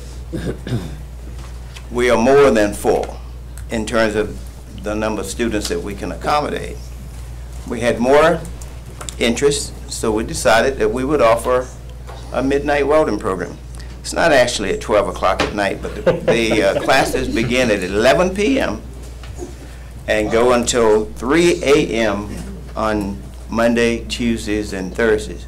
So if you can't sleep one night and you need something to do, With insomnia, right? give me a call and I'll meet you over at Weldon at 2 a.m. Skilled welders are needed in a lot of different uh, areas. You know, we think about metal fabricating, but we have welders in aeronautics, automotive racing, robotics, the military, and the list goes on. And they make a lot of money. It's a huge deal. So we are very thankful for the resources for the new building and very pleased that we have the demand for welding that we have today and we're able to deliver only because we have the new facilities in which to do so. One more thing about welding, and I'll move to my next point. In November, Graham had a ribbon cutting for the new mobile parklet. And upcycled, meaning created reuse. Upcycled container that was sponsored by Baker's Waste Equipment has been modified to serve as a mobile park. Graham had the vision, but Alamance Community Colleges, College has the students with the skills in welding. So our students actually made the modifications to that container and made it into what it is today so that it can be a mobile park. we have workforce development as the last bullet on that page. Workforce development, we used to know that as continuing education. In fact, I still refer to it as continuing education because I truly believe that everything we do, almost everything we do is workforce development oriented. But workforce development continues to provide short-term training, just-in-time workforce development training, and training such as GED and basic skills. Now, I have two favorite stories related to GED. The first is about a young man who, and you may have heard this story before, but it is really a good story, who came to us to, because he had to drop out of high school for family reasons, he had to go to work for financial reasons, and that young man came to Alamance Community College, earned his GED, went on to UNC Chapel Hill, earned his bachelor's degree and his law degree. And now he practices law, and he is a practicing partner in a law practice in New Bern, North Carolina. That's a favorite story of mine. Now here's another one. This is a student who came to the college because she didn't have a high school diploma. She worked on her GED. She was successful. She finished. She went on to Chapel Hill, when she came to Alamance Community College and earned an associate degree first. And then she went to Chapel Hill, earned her bachelor's, went to NC State, earned a master's, went out west and earned a PhD went on to become a postdoc fellow in botany at the Smithsonian Institute in Washington, D.C. And I understand that now she's also working on doing some postdoc work at Oberlin University. These are huge stories, but they do not dwarf the story of the housewife who takes basic skills learns how to read and write, and is now able to properly mix a formula for her milk for her child. Do not dwarf the story about the family who can now balance their checkbook because they learn the math necessary to do so. The story about the lawyer and the doctor they're scaled at a different level. But those other stories, and we have many of them all across this county, they're just as important. Slide two, uh, Cindy. Cooperative education.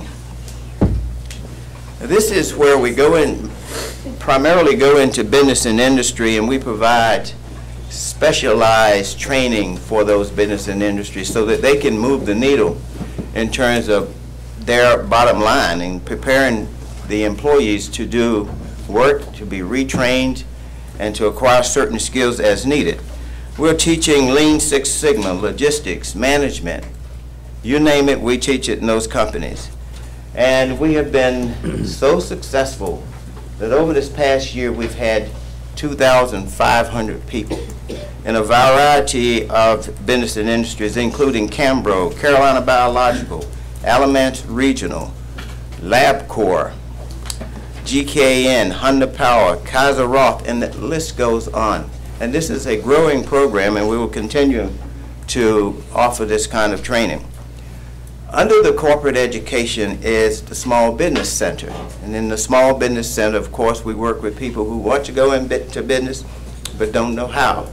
We work with people who are in business but want to be successful. We work for people who have a business plan but need some help in finding financial support for their business. We work with people who don't have business plans, don't have a clue what a business plan is, and we help them develop those business plans. And all that is supporting the economy here in this county. I want to share one story about corporate education. And that is the CLAP Entrepreneurial Opportunity Initiative.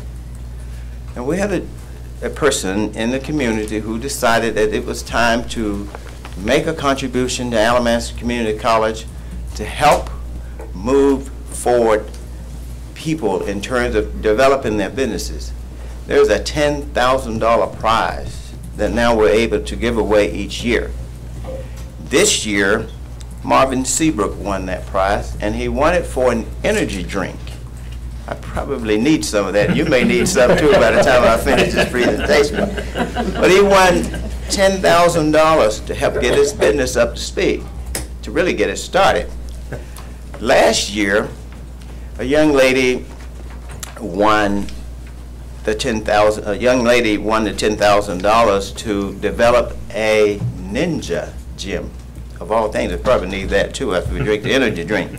But this is, this is, this is huge. I don't know of another community college in this state where students have the opportunity to actually compete for such a, for such a huge prize. In fact, I don't know of any community college in this nation, and there may be some. I don't know of them. So we're proud of that. Next slide. Transfer articulation agreements. Here's the thought behind this. We want Alamance Community College to be a platform for people to have a better life. Well, part of that is, is not allowing our degrees to become terminal. Well, we're only authorized to award up to the associate degree, so they are kind of terminal in that sense. But they're no longer terminal when we have articulation agreements with universities. And most of the universities on this list are relatively new, the newest of which would be UNC of Wilmington. In fact, I just signed that agreement on last Friday. Let me highlight the agreement with North Carolina State University, and that is the C3 agreement, Community College Collaboration. North Carolina State University understands the importance of building its junior and senior classes with students, good, high-quality, academically uh, high-quality students from community colleges. So the chancellor and his staff put together this uh, program, C3, talked with us, and we were the very first college in the state to become part of the C3 program.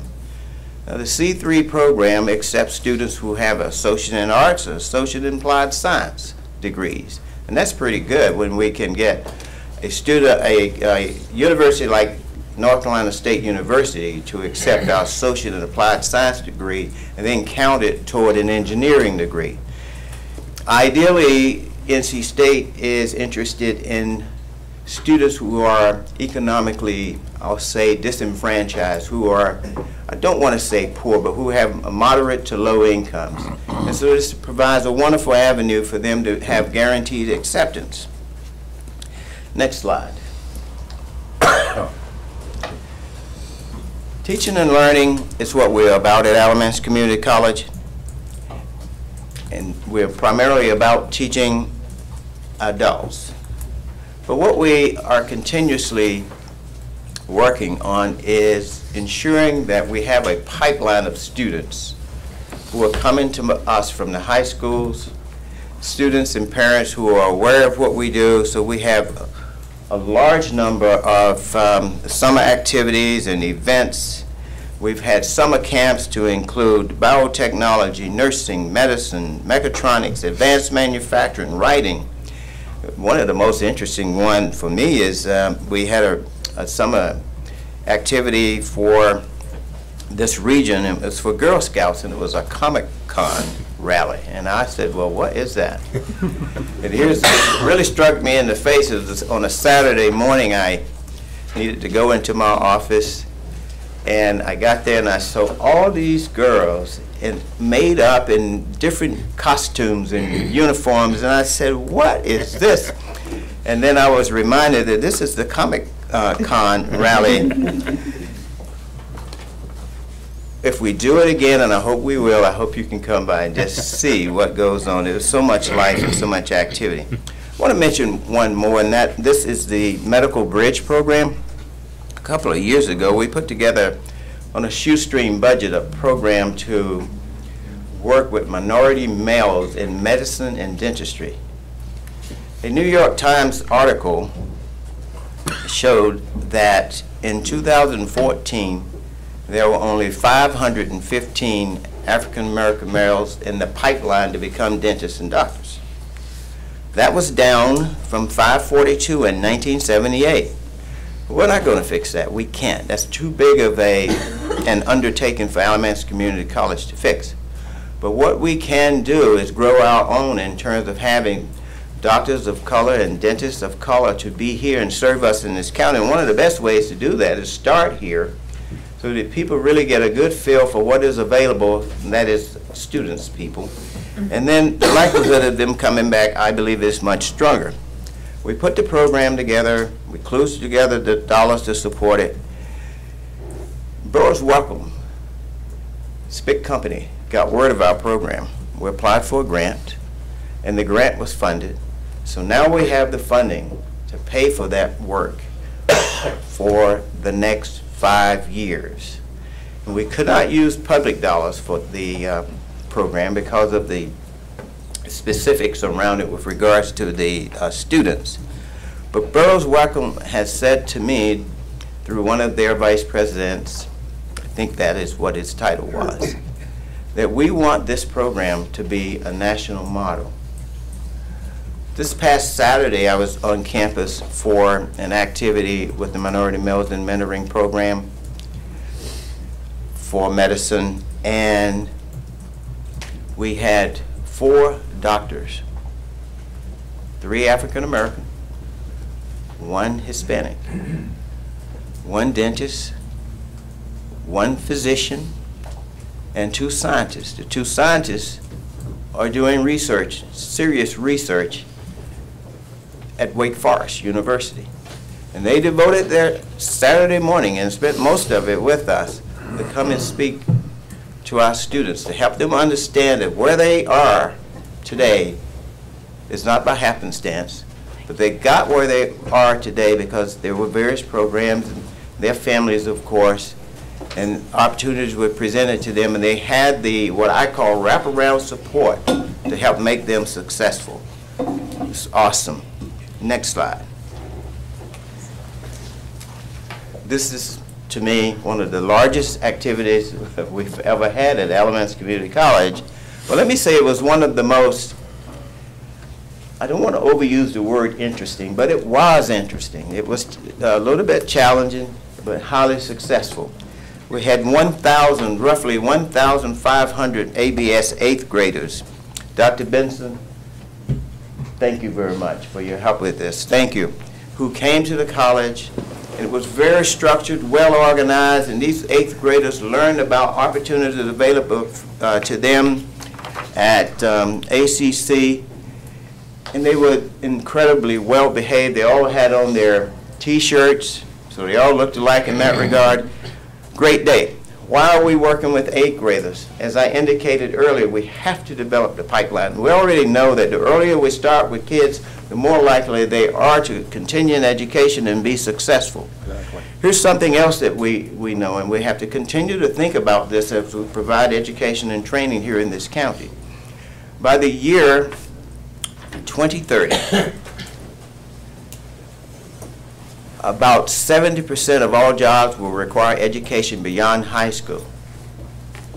I argue that most of them will require less than a four-year college degree. Either way, we have to have our populace well educated in order to do the work with regards to the skills requirements of the jobs of the future, many of which we don't even know what they will be. So we have to educate our students very, very well. And this is why we're doing these kinds of things, bringing kids to our campus and people from the community to make sure that parents and students know that this, the world has changed. It's not changing, it has changed. And a high school diploma, while good, is, won't cut it in today's economy in terms of workforce development. And speaking of economy, we're undergirding Alamance County's economy every time we reach a student and help them to get the skills they need. A skills workforce is essential to a good economy and having a good place to live and study and re- and retire at some point for a lot of people. Next slide, Cindy. The guy on the top, Hey, I'm going to interrupt you real Yes. quick because um, I have to be honest with you, we're 20 minutes into your presentation. Okay. Oh, really? We haven't seen your budget yet. okay, so. I just I'm want gonna wrap to up. to your attention, we have the school system and the sheriff's office and a noise ordinance discussion and then some other things on our agenda. I'll wrap it up in two minutes. That'd be wonderful. Very Thank good. you. I don't want to be disrespectful. It's quite fine. Everything you've said is important and we value it.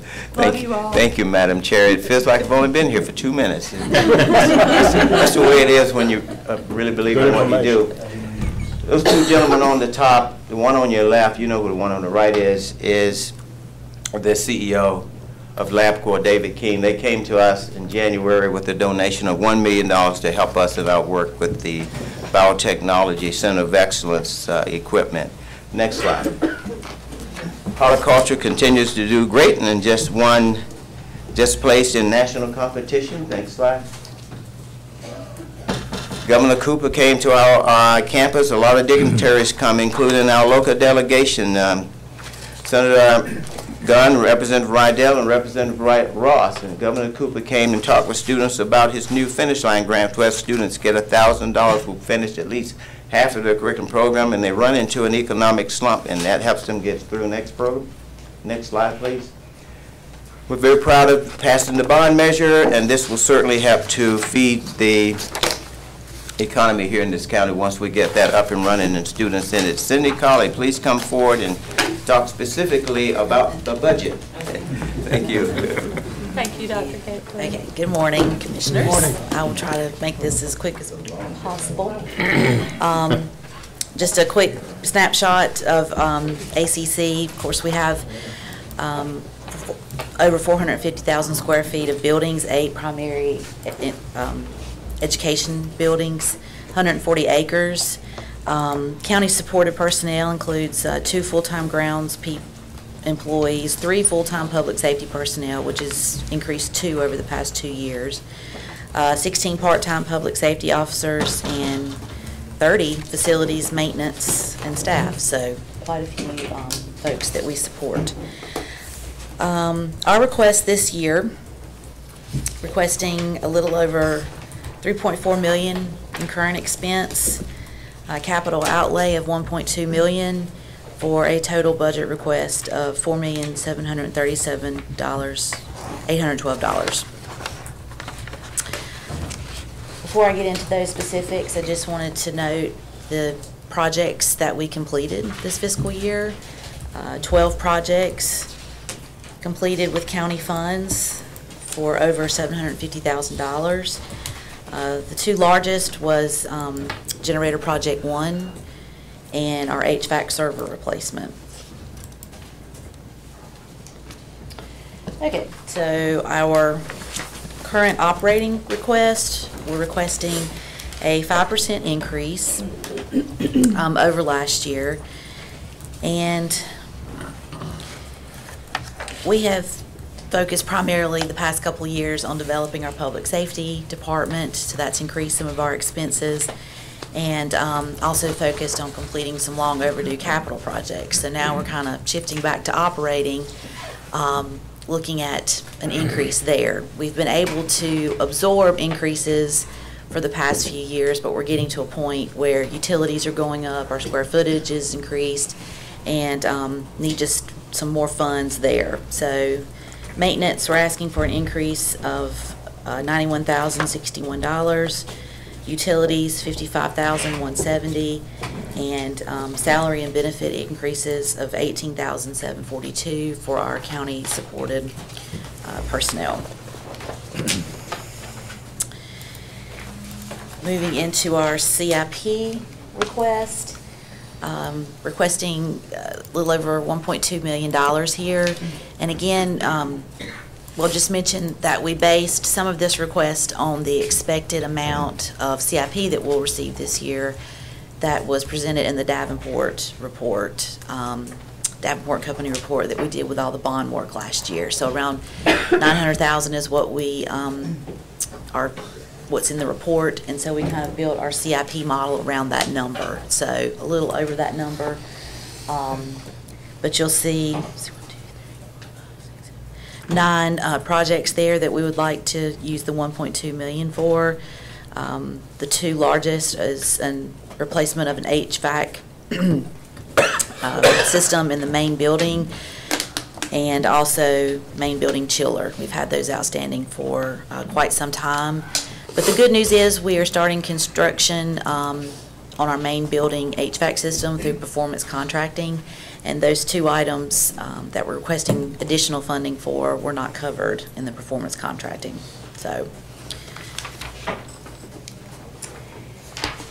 And just note that our current funding per full-time student is $748 per FTE.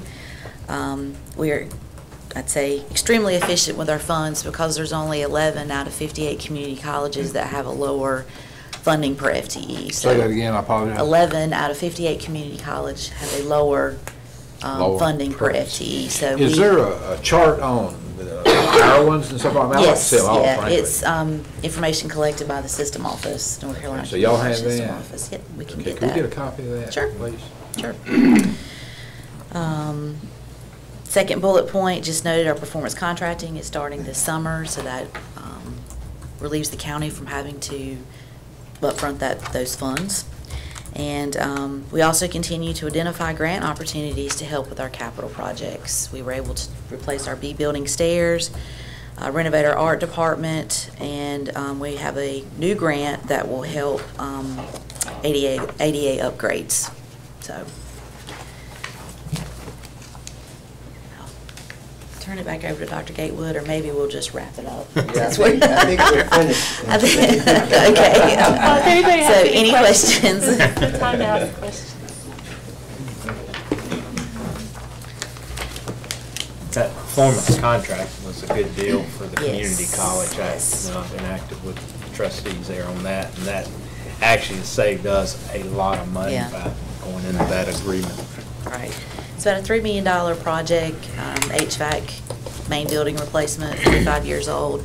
Uh, Through performance contracting, we're- we're going to be able to do around 2.5 million, so that's why we just have a couple of other things that we'll use county CIP to completely finish the project. So, Lot Okay. going on down there. yes, yes, yes. Thank you so much. Thank you. We, uh, we are so proud of our community college, and um, Dr. Gatewood and his work has been just pivotal in uh, furthering that work, and we just appreciate all that you all do, and the value that you provide to the county is just amazing, really. And to go through the remarkable things that y'all have got going on, it does take a while, because it's a lot. You got a lot to talk about. Um, That's all Thank you. valuable and and Thank wonderful. you, Madam Chair. I'm glad you understand. Thank you so much. All right, um, would you gentlemen like to take a recess? Is that preferred? All right, we'll have a recess.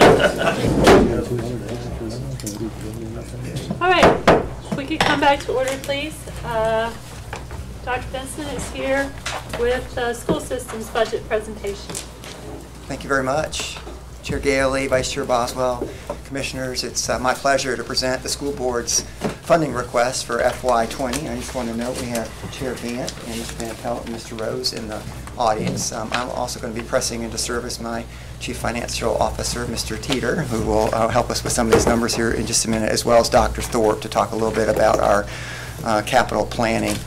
Um, and, and I I think you're aware of the wonderful opportunities that our young people have in our schools all across the county, um, especially programs at the elementary school to all kinds of opportunities at the high school, uh, career technical opportunities ready for college, a fledgling uh, IB program underway, a wonderful partnership with the, with the community college. So I won't, I won't go into a lot of details there. Um, I got some presentation advice from a colleague a number of years ago with uh, bottom line up front. So I'm going to give you the bottom line up front. Uh, We are not asking for an increase in operational costs for next year. We are asking for some additional support for cash capital projects that will go beyond uh, what the bond will touch. And I'm going to talk a little bit about why it is that I think we need to do that and how we are essentially refocusing our ac- efforts, uh, redirecting funds to improve outcomes for students. Because we have some work to do there in terms of on-time graduation, Uh, We have 13 schools that are on the state's uh, low-performing list. Uh, We, we plan to, to have uh, significant improvement in terms of, uh, in terms of student outcomes. So we're, a- we're a people-intensive business. Uh, We have to project what we think we might need to do in terms of compensation increases for, for folks. We are thinking that it's going to be somewhere in the neighborhood of a 3% uh, increase. Of course, General Assembly will, will get the final say about what that might look like, Uh, but that's what we're, we're budgeting for. That alone, um, along with projected increases in healthcare costs at about $300 per person and about a, a point, uh, a- about a two percentage point increase in retirement uh, contributions is going to cost us just shy of $3 million. And then we've identified um, about a million dollars in expansion requests that we think will greatly improve our efficiencies uh, across areas, including uh, bringing in a risk manager to help us with our workman's comp uh, payments, as well as some, as well as some other areas. So uh, we're able to, to take care of that essentially by redirecting funds. Um, uh, Some funding associated with our academic coach model. We are not doing away with academic coaches, but we're moving to a regional support model that is less uh, expensive, and we think that we'll get more consistent outcomes across schools. And then uh, some efficiencies that we're capturing in terms of the allotment process, how our schools are are staffed. So I just, I want to say that again, we are not asking for an increase in operational costs, and I am not going to connect that to today being April 1st. So we we don't, we don't intend to, um, we don't intend to go back uh, on that. Um, I am, I'm very big about return on investment. I think it's very important for all organizations, public schools included, to be able to demonstrate the value added as a result of the investment that a community makes in their schools, whether that's on the operational side or the capital side.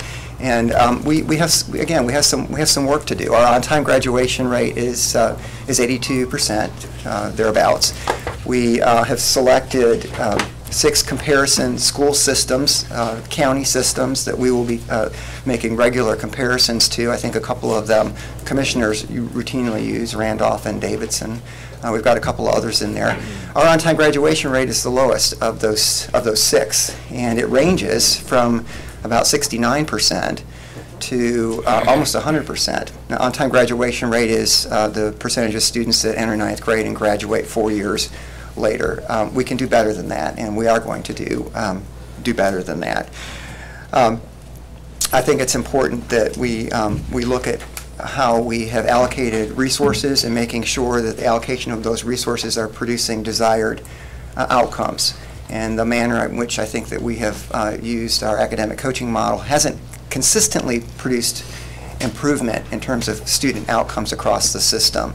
Not that there aren't pockets where it's working really well, and we're going to learn from those, but we think that moving to a regional support model will um, just strengthen our student, strengthen our student outcomes, and, um, and we can do that at a, at a little bit less expensive, uh, a little bit less expensive path. Uh, The other reason for us to, to look at the- those positions is that we're having a hard time staffing positions. Our turnover last year was about 13.5% in terms of teaching staff, which is not, not horrible as an average. However, it ranged from having one teacher turnover in a school in four years' time to having a 42% of staff turnover in a single school in, in one year's time. And that is, that, that's an incredible amount of variance there. And you think, compensation's the same, benefits are the same, opportunities for recognition are the same, opportunities for professional growth are largely the same. The one thing that we have control over there is climate in the school. And what are we doing to, uh, to im- improve that, which doesn't have a dollar amount associated with it, but we, we've got to get a handle on that, on that turnover. We have 13 classes this year that do not have a full-time regular teacher in them. They're staffed with substitute teachers. And one of the things that I told um, the academic coaches as we, we talked about looking at this model differently is that my first priority is to have a highly qualified teacher in every classroom space across the, across the county. And we just, we feel like we need to reallocate resources in order to ensure that that, uh, that happens. And we're going to look a little bit differently at, at things like compensation and incentivizing folks to, to go into schools where we've had trouble filling, um, filling positions. The other thing you'll see in this plan is uh, we're, we're looking at cash capital. Uh, we're, we're requesting an increase of about just shy of $680,000. We've presented the commissioners with a seven-year cash capital plan, and we'll talk a little bit about the difference between the bonded funding and the cash capital funding. And uh, with that, I'm going to turn it over to Mr. Teeter, who's going to walk us very quickly May I through. ask you a question about a stat you gave? Uh, Would you go briefly about the uh, graduation rates compared to the, uh, We actually have a slide that, um, that has them on it. I think we Is can it in pull it there? up quickly. So uh, on-time graduation rate, uh, last year 81.3% uh, compared to our comparison Okay. divisions. Um, All right. We're, we're not where we need to be, not where we want to be. what, uh, without dissecting it too much sociologically, what would you, would you not think that there's a socioeconomic scenario there that the other counties don't have? I, um, I I won't use that, Mr. Sutton, as a reason for not having higher on-time graduation rate, having had some success in some other school systems that have considerable um, um, percentages of students that might be, might be considered at risk for some, in some way in terms of uh, socioeconomic uh, background. Uh, I will, I will tell you this, that it's, um, what you, what you measure and pay attention to in an organization is, is important. It's an important uh, statement to the folks that are doing that work and that I am confident with the measures that we've put in place, that we're going to see some improvement in that on-time graduation rate in relatively, um, relatively short order. Yeah, I'm not trying to offer an excuse other than to say there's reasons for everything. And that's what I was. There certainly is, um, but it's, it, um, quite frankly, it's not something that we've attended to directly. Right. Um, And, and I'll I'll give you another example. Uh, Last year, um, about 45% of our teachers missed 11 or more days of, of school uh, beyond um, holidays and, and such. Uh, That's high. Um, And a qualified teacher in a classroom is one thing, we've got to make sure those qualified teachers are in the classroom uh, working with students uh, directly. Uh, We brought that to the attention of our principals this year um, upon my arrival, and right now we're sitting at about 8% uh, with uh, 11 or more absences. So without doing anything except saying, you know what, that's an important metric for us to attend to, uh, we're seeing improvement. Is there a comparable relation between end-of-grade testing, uh, SAT scores, uh, i.e. any, any performance uh, status? So I would- I would- In- in- Excuse me, in relation to that, So. that parallels um, that. So if you take a look at our, um, our AP performance as an example, we gave over 2,000 AP tests last year. 61% of those were ones or twos. That's not getting anybody any college credit. So where we're focusing in our classrooms in terms of prov- improving teaching and learning is as important for on-time graduation as it is for end-of-grade testing, as it is for students that are preparing to go to, um, to college. Uh, We've got work to do with our ACT and uh, WorkKeys assessments as well, which is how the state measures whether or not our students are ready for further education or the workforce. With that, Uh, So in a, in a, good morning, in arriving at the graduation slide, we've um, sort of moved through some other points, but I wanted to go back um, and hit on a couple of these slides. And so one is just the size of the district, and so, as you know, we're, we're number 15 in size now in the state of North Carolina in terms of the size of our local education agency. So we're, a lot of folks are watching us and looking at what we're doing, and so um, I wanted to move on next to our, our funding streams, and, and it, uh, we discussed this at the presentation in December as well, in that we're very much a state-dependent uh, school system, uh, but we certainly do receive um, a, a very adequate uh, supply of local dollars in order to help us do what we're doing. Um, and so we're very sensitive too, though, um, to changes that occur um, at the state level regarding compensation. And we'll touch on that um, in just a little bit to, to help you understand uh, how we arrived um, at our uh, continuation budget figure. The next chart um, is also of particular interest, and that touches on our peer groups and how we rank in terms of our per pupil funding. Um, and this is another one, just like we had some data from the community college, uh, we can also share how all of the districts uh, measure up across the state. Uh, but in terms of our peer groups, we're, we're smack dab in the middle in terms of what we're spending on a per pupil basis across all of our funding sources. Um, and these charts that come from the state, um, you can isolate it to local money only, state money only, and, and see how you compare uh, with those different sets of dollars. And so we've already talked about um, th- this one particular metric, and I won't linger on the, linger on this data long. Um, th- This is one that where we're, it's one of the few, I think, where we found that we're competitive with our peer districts in terms of the progress uh, that our students who speak English as a second language are making. Um, And then all the other categories um, that you'll see in the packets that we've given you, uh, we've got lots of opportunity uh, for growth. Um, And that's something that I know the district is talking about on a constant basis.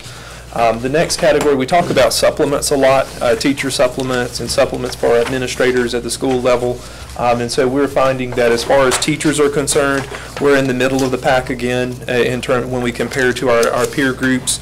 Uh, Assistant principals, we're in the top half of that group, and then for principals, we're the second highest out of our comparison group. And Cabarrus County is the only um, county that we're comparing ourselves to right now uh, that pays a higher supplement for their, their building level administrators.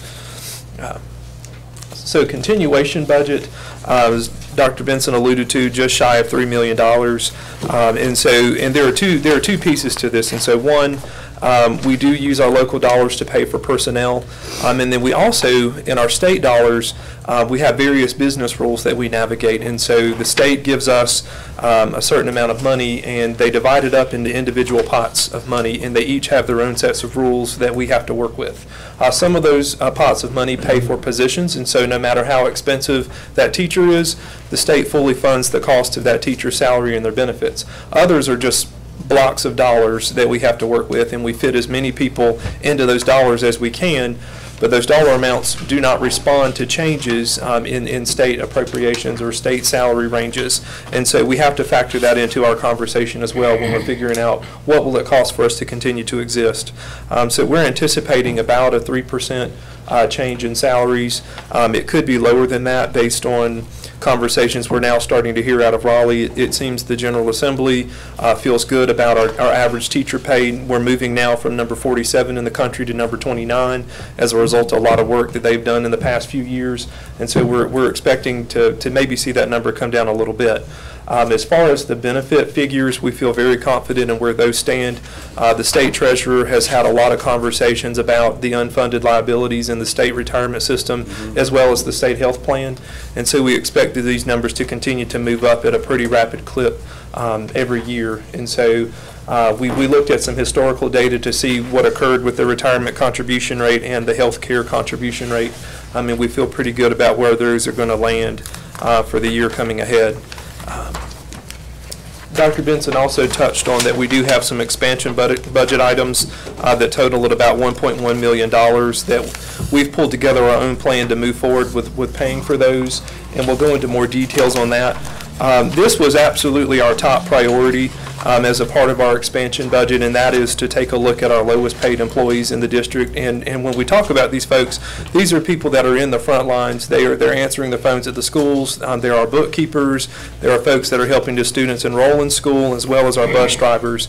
And so we worked um, to conduct a classified salary study in order to determine where were our greatest needs.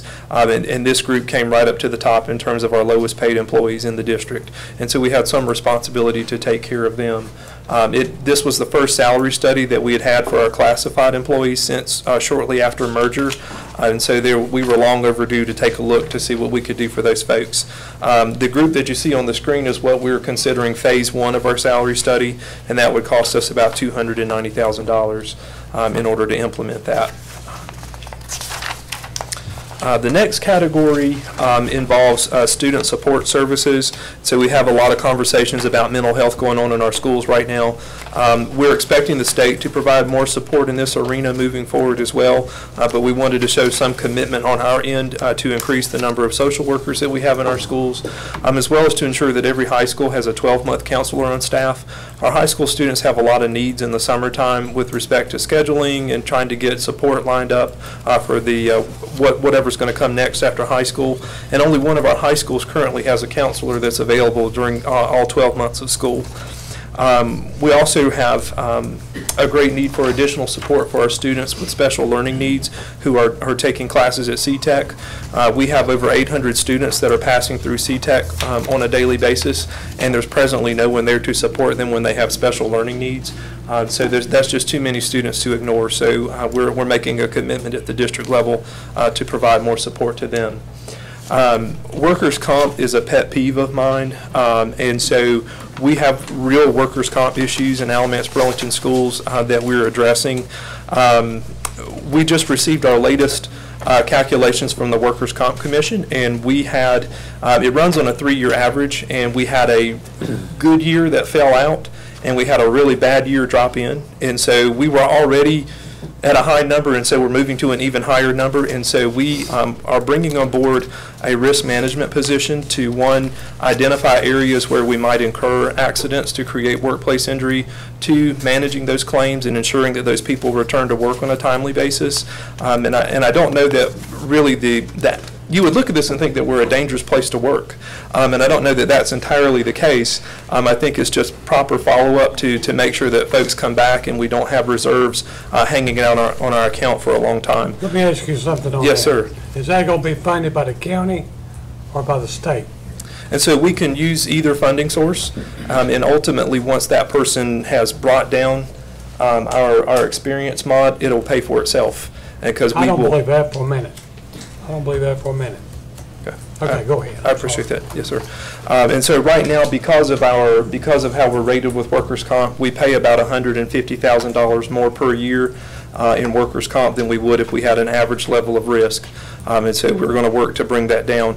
And I'll also point that's important to note um, with these dollar amounts next to positions, that includes salary and then the cost of benefits for that person. And so um, it's not necessarily the salary that we would pay. Um, Question. Yes, sir. Is there any particular type of repetitive injury across the, population, or? We do see, uh, we have seen a couple of patterns. Um, uh, One in particular, when I took a look at our workers' comp data, is slips and trips, um, particularly in our Slips trips. cafeterias. Yes, sir. Um, And so we're, um, so we know that when we get this program in place, uh, we're going to be providing a lot of focus on, on training to reduce those types of events, uh, so that those folks are, are not incurring that injury, and we're able to keep them in work. Um, And so that was the most common, where slips, trips, and falls is the category that the, uh, the insurance company puts on those. Um, And overexertion would be the second uh, highest category, uh, where we've seen the most common workplace injury. Um, And, and so that, it tends to occur more in our, in our child nutrition area um, than anything. Um, And our second, um, our second highest category that we had this past year struck me weird, and it was for tutors. And so you really don't think about tutoring as being a dangerous Right. job or an accident-prone job, but we did have um, an an elderly tutor who was working in our schools who fell um, and then had a very expensive claim. And so we expect that to change um, as her particular claim works its way out of our books. Right. Um, And so, yeah, so it, it's really interesting stuff to dig into to see what's going on. Um, But I don't think that there has been a very intentional focus in a long time in the district to manage this. So Uh, would a tutor fall into that, qualified to get workman's comp? How does that work? So we do have, um, so if they, if they work for us, um, and we're, if we're employing them, they're, they fall under our workers' comp policy, no matter what capacity they're in, you know. Um, and so in the, the only instance where we don't run into issues with that, uh, is if we, you know, if we're contracting something out. So for example, uh, we contract with the Budd Group, uh, for a custodial service for a lot of our schools. And so they, they're carrying the workers' comp on those employees, and so. there not a group that has tutors that could cover that group? That, that, that's an interesting thought, yeah. I mean, I hate, you know, it's a tutor that makes a few dollars an hour. has Right. Created a But it very costs a expensive claim. expense. Absolutely. What is the, what would be the percentage of employees that are experiencing this? uh, I would say it's not a very high percentage of employees, but it's just, uh, when you're dealing with workers' comp, a lot of that's driven by the cost of the claim, um, and then the amount of the wages that we're having to pay out, um, at the time that those occur. And so, um, for us, it's not so much volume, but it's costliness of the claims. Sure. And, and trying to manage those and, and, and, uh, limit the duration of the claim. Now, uh, if you for- can bring that down, premium-wise, that's where you think you can cover your risk manager's cost? Yes, sir. Yep. So, like I say, we pay about hundred and fifty thousand more than if we had an average level of risk. Um, so that, that's something we've got to be mindful of. And then also, we think about our return to work program. If we have a teacher who's injured, those Right. kids are without a teacher. Um, and so we've, we've got to be vigilant in, in helping them, you know, get what they need and, and return to work. And, uh, you know, there's a, a lot of very strong data from the insurance industry that touches on the longer someone is out with that injury, the less likely they are to ever return to work at all. Um, and so it's really in those first, those first few weeks, um, really, and even in the early days, early days of an injury, that we have to be on top of it and help them still feel connected, um, in that knowing that we're on top of it and we're going to expect them to come back, um, as soon as they're able to. Um, the next, um, the next category is connected to one of our enterprise funds. Um, And so we, we do manage a child care program in Alamance Burlington schools, and so we're, we're wanting to expand that so that we can offer that at additional schools. We have 14 um, who provide that now, and so we're wanting to bring that on board to more schools so that we can offer child care. And that, that just brings peace of mind for parents um, that we're providing that. And we're also able to do it at a rate that's a lot more competitive um, than some of the private child care programs. Um, we have other needs that we're bringing on board, and so now um, we have, when a, when a student enrolls in school, um, we currently um, do not have at the elementary level folks that are working in those schools to help them enroll into school. And so we've got three of our data managers from the elementary level who will come in um, and, and work with our students and our parents to make sure that that service is still available to them in the summer. And that's something that we're able to do very cheaply with the cost savings um, that we're implementing by redirecting our resources. Um, we also um, have moved uh, to moved kindergarten enrollment to online. And so our parents are able to enroll their children um, into school online rather than toting a lot of paperwork uh, to the schoolhouse and, and having back and forth with that. Um, and so um, Another thing that we've, that we've run into that's a particular concern uh, with our, uh, we, we do offer a supplement for our employees um, who are 10-month, and, and our 12-month employees um, forego their supplement in the summer months, and they have for a long time in Alamance Burlington. And so we're bringing that um, on board for them so that they're not taking a pay cut in the summer. Um, Specifically with facilities, um, there's been a lot of conversation about the scope of the bond projects and other needs that we have in Alamance Burlington schools, and really having someone to provide the oversight uh, to, to plan that and to follow up on the timeline of that. And so we're bringing on um, a project manager um, who's, who preferably has a background in architecture or engineering in order to oversee that and keep all those pieces moving. Um, and we also have the need, due to the large volume of work orders, uh, two additional skilled trade staff um, to bring on board um, in order to manage um, the, the needs of our aging facilities. Um, Have you been interviewing anybody for that position yet? I know that it is posted, and I'm not certain that we've reached an interview stage just yet, uh, but that has been posted, and, and, um, and hopefully folks are applying. Um, This other category is one that we may, um, that we may end up not doing in this full scope, uh, but we've identified a need. We, we recognize the impact that a high-quality principal has on what's occurring in each of our individual schools, and so we're developing an in-house uh, program to provide support to our principals to make sure that they are fully prepared uh, to be principals in Alamance Burlington schools. And this would also benefit our assistant principals as they're working up the pipeline. I think that we see a very clear trend in our schools um, that are doing well or not doing well, that just the quality of the principal and that leadership uh, that's trickling down um, to the teacher level. Um, We also recognize that we provide a great deal of customer support, our customer service to the district, and in our summer months, we see a lot of folks uh, coming into central office who are needing help, uh, A, to get enrolled, or to get, or they, uh, we've got a a guardian who has res- assumed responsibility for a student uh, because the parents are no longer responsible, and we've got to provide additional support to help them get situated for the next school year. So we're bringing in somebody who's a 10-month employee at one of our schools to provide extra help uh, with that process. Uh, We do have a one-time expense in here of $50,000 to replace a lot of our core networking equipment that is now aged out and is no longer covered by warranty. Um, And then the superintendent, and this third piece of the slide, has got a clear vision for our communication plan. Um, We know that we've got some work to do in terms of our digital communication, I mean, just communication in general, and so we'd be bringing on a support staff person to help us improve our communication plan as a district. Um, Does that include getting your website so that it's mobile friendly? Yes, sir. And I think we're, we're working on that now in-house to, to make that mobile-friendly. Um, We have a lot of conversation about teacher supplements, and so um, the last couple of years, we've had, we've had a, a budget variance of about $250,000 or so a year, and so we're dedic, we're dedicating that support um, to, and, and it's, it's happened enough that it's predictable that that's where we'll end up, and so we're going to direct those resources to support um, a a slight increase in teacher supplements. So the last couple of years, you know, we've pushed for a half percent increase, and we've not been able to do that for teachers. Uh, But moving forward, we're going to be able to guarantee at least a quarter of a percent. And so the conversation we've had with them is, we know you haven't been able to get the half percent, but we're guaranteeing you a quarter of a percent. So it's something uh, to show a commitment. Um, I know that we've had some on a, on a long range, on a long range basis. We're going to have some conversations about how we structure those supplements um, so that they're not, um, they're not creating such an, an inflationary effect on our continuation budget numbers on a year-to-year basis. Um, We've had some really great conversation uh, with law enforcement uh, recently, and I know that Sheriff Johnson was at the table for our most recent conversation. Um, So with, uh, with respect to SROs and what we're paying for those SROs, um, we are in the process um, of working out a new rate, a new rate that we pay for SROs.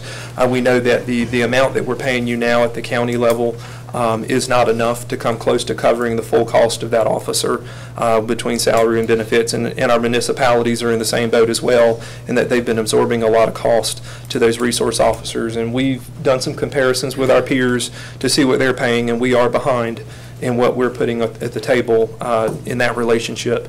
And so uh, within the next week, uh, we'll, we'll be putting forth a new number uh, for what we would pay uh, for those SROs.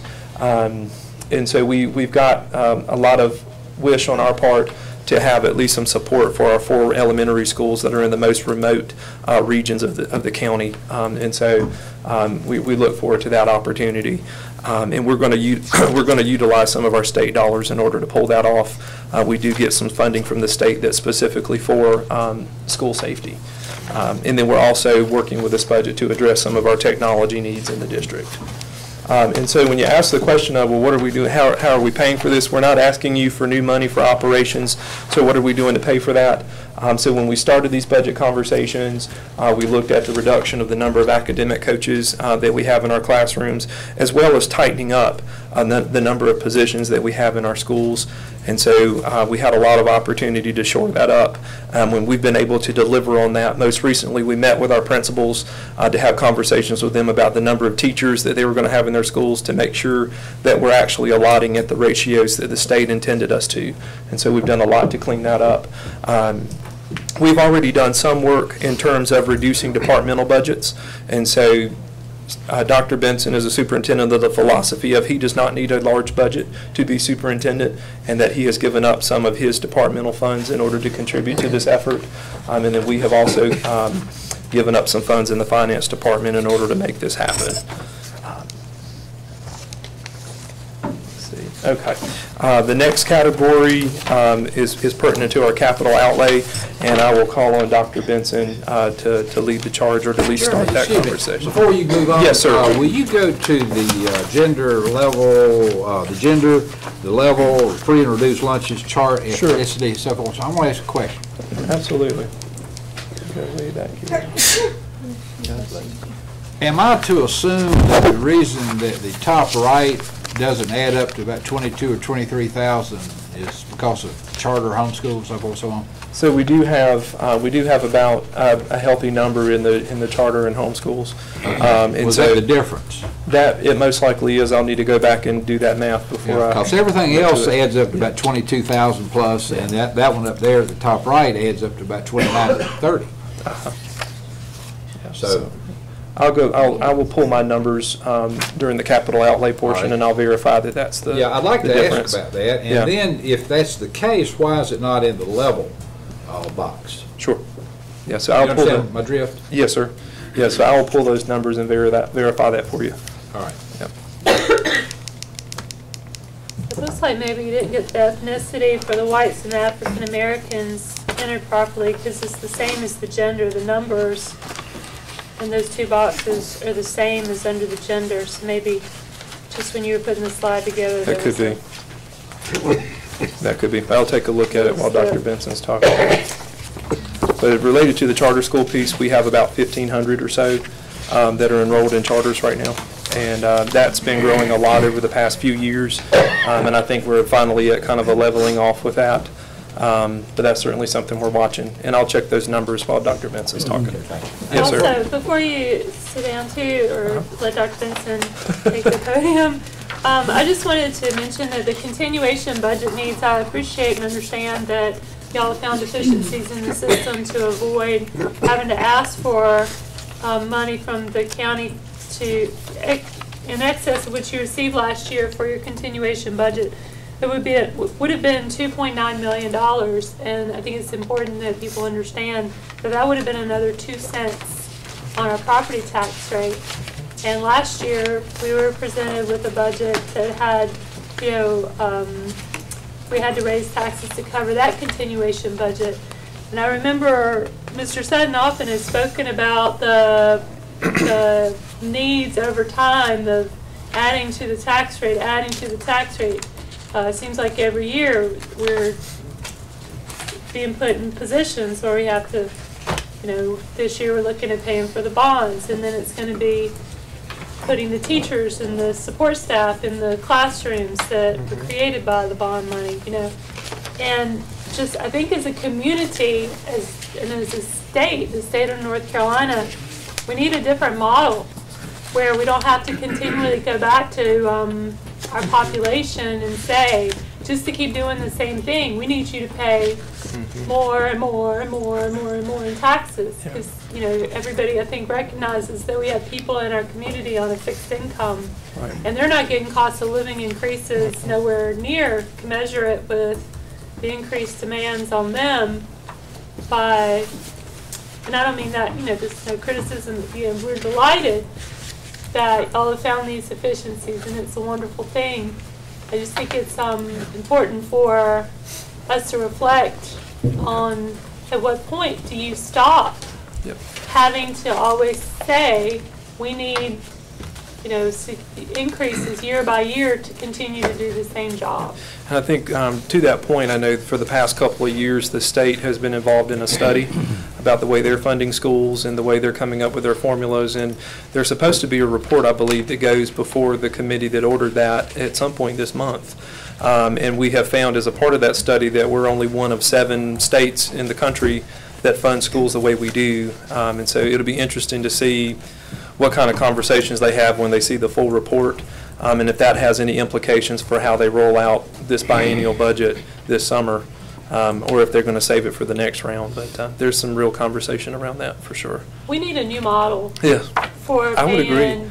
And it's a complicated model to explain. Um, You know, when we, when we talk about, you have over $130 million of state resources, um, and we're not just handed 130 million, it, it comes divided into little pots that all have their own rules with what you can and can't do, and um, it will certainly make all of our work easier with the new model. The different counties have their unique challenges. We have a challenge being located along the corridor people can easily commute relatively easily to counties that can afford to pay higher um, supplements and things like that. But there's also incredible disparities in the state between the rich counties like Mecklenburg and Wake and the poorer counties like Washington and Greene Mhm. and Transylvania that they have nothing. They can't compete. They can't keep people. And it's just this Yeah, it has been nice for me to move from a county where one penny generated 160,000 versus here that's about 1.4 million. So you can, I've kind of, I've lived, the- I've lived the difference, yeah, so, yeah. You've seen it, haven't you? Yeah, I've seen it. And, uh, and making the same amount of money work year after year and, and having to make those tough decisions, absolutely. Yeah. All right. Thank you. Just to add on to that discussion about um, compensation, I I don't think there's any question that the state's model needs to be kind of overhauled. The reality is that's not going to happen in short order.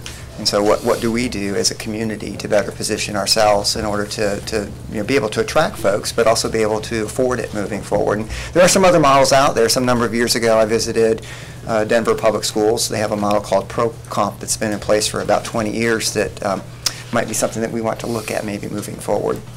Uh, That said, I'm going to talk just a little bit about capital outlay, and uh, I'm- then I'm going to ask Dr. Thorpe to come up and talk more specifically about the projects, okay? Uh, So just to reiterate, um, everything that we've talked about so far, we have uh, figured out a way to to fund that, everything, okay? The assistance that we're asking for has to do with PAYGO uh, capital, cash capital, things that that we would rather not borrow for uh, and use local dollars to re- repair, and we just, we want to make sure that that's kind of, everyone understands that's where our focus is. This is not about the bonds, we appreciate the community's support of the bonds, these are these other things that, that we have to take care of during the course of uh, maintaining our, our buildings. Um, can make this work. Oh, there we go. So first of all, let me say um, how excited I am to be working with Mr. Hagood and staff to, to do, to look at this as a, a a joint effort, uh, not just the, uh, the bonded projects, but also the cash capital uh, projects. And the notion that we're going to do this in a couple different levels with a tech, a technical review committee, which is essentially the way we're working right now, and then bringing on an oversight committee that we would hope would be provide, um, comprised of a couple of commissioners and a couple of uh, Board of Education members and some citizen representative to provide oversight for all of that work. So we'll bundle all of our uh, capital projects together, the, the things that we're borrowing for as well as the things that we're using uh, PAYGO. And I just want to just talk about the, a little bit of a, the definition difference between the two.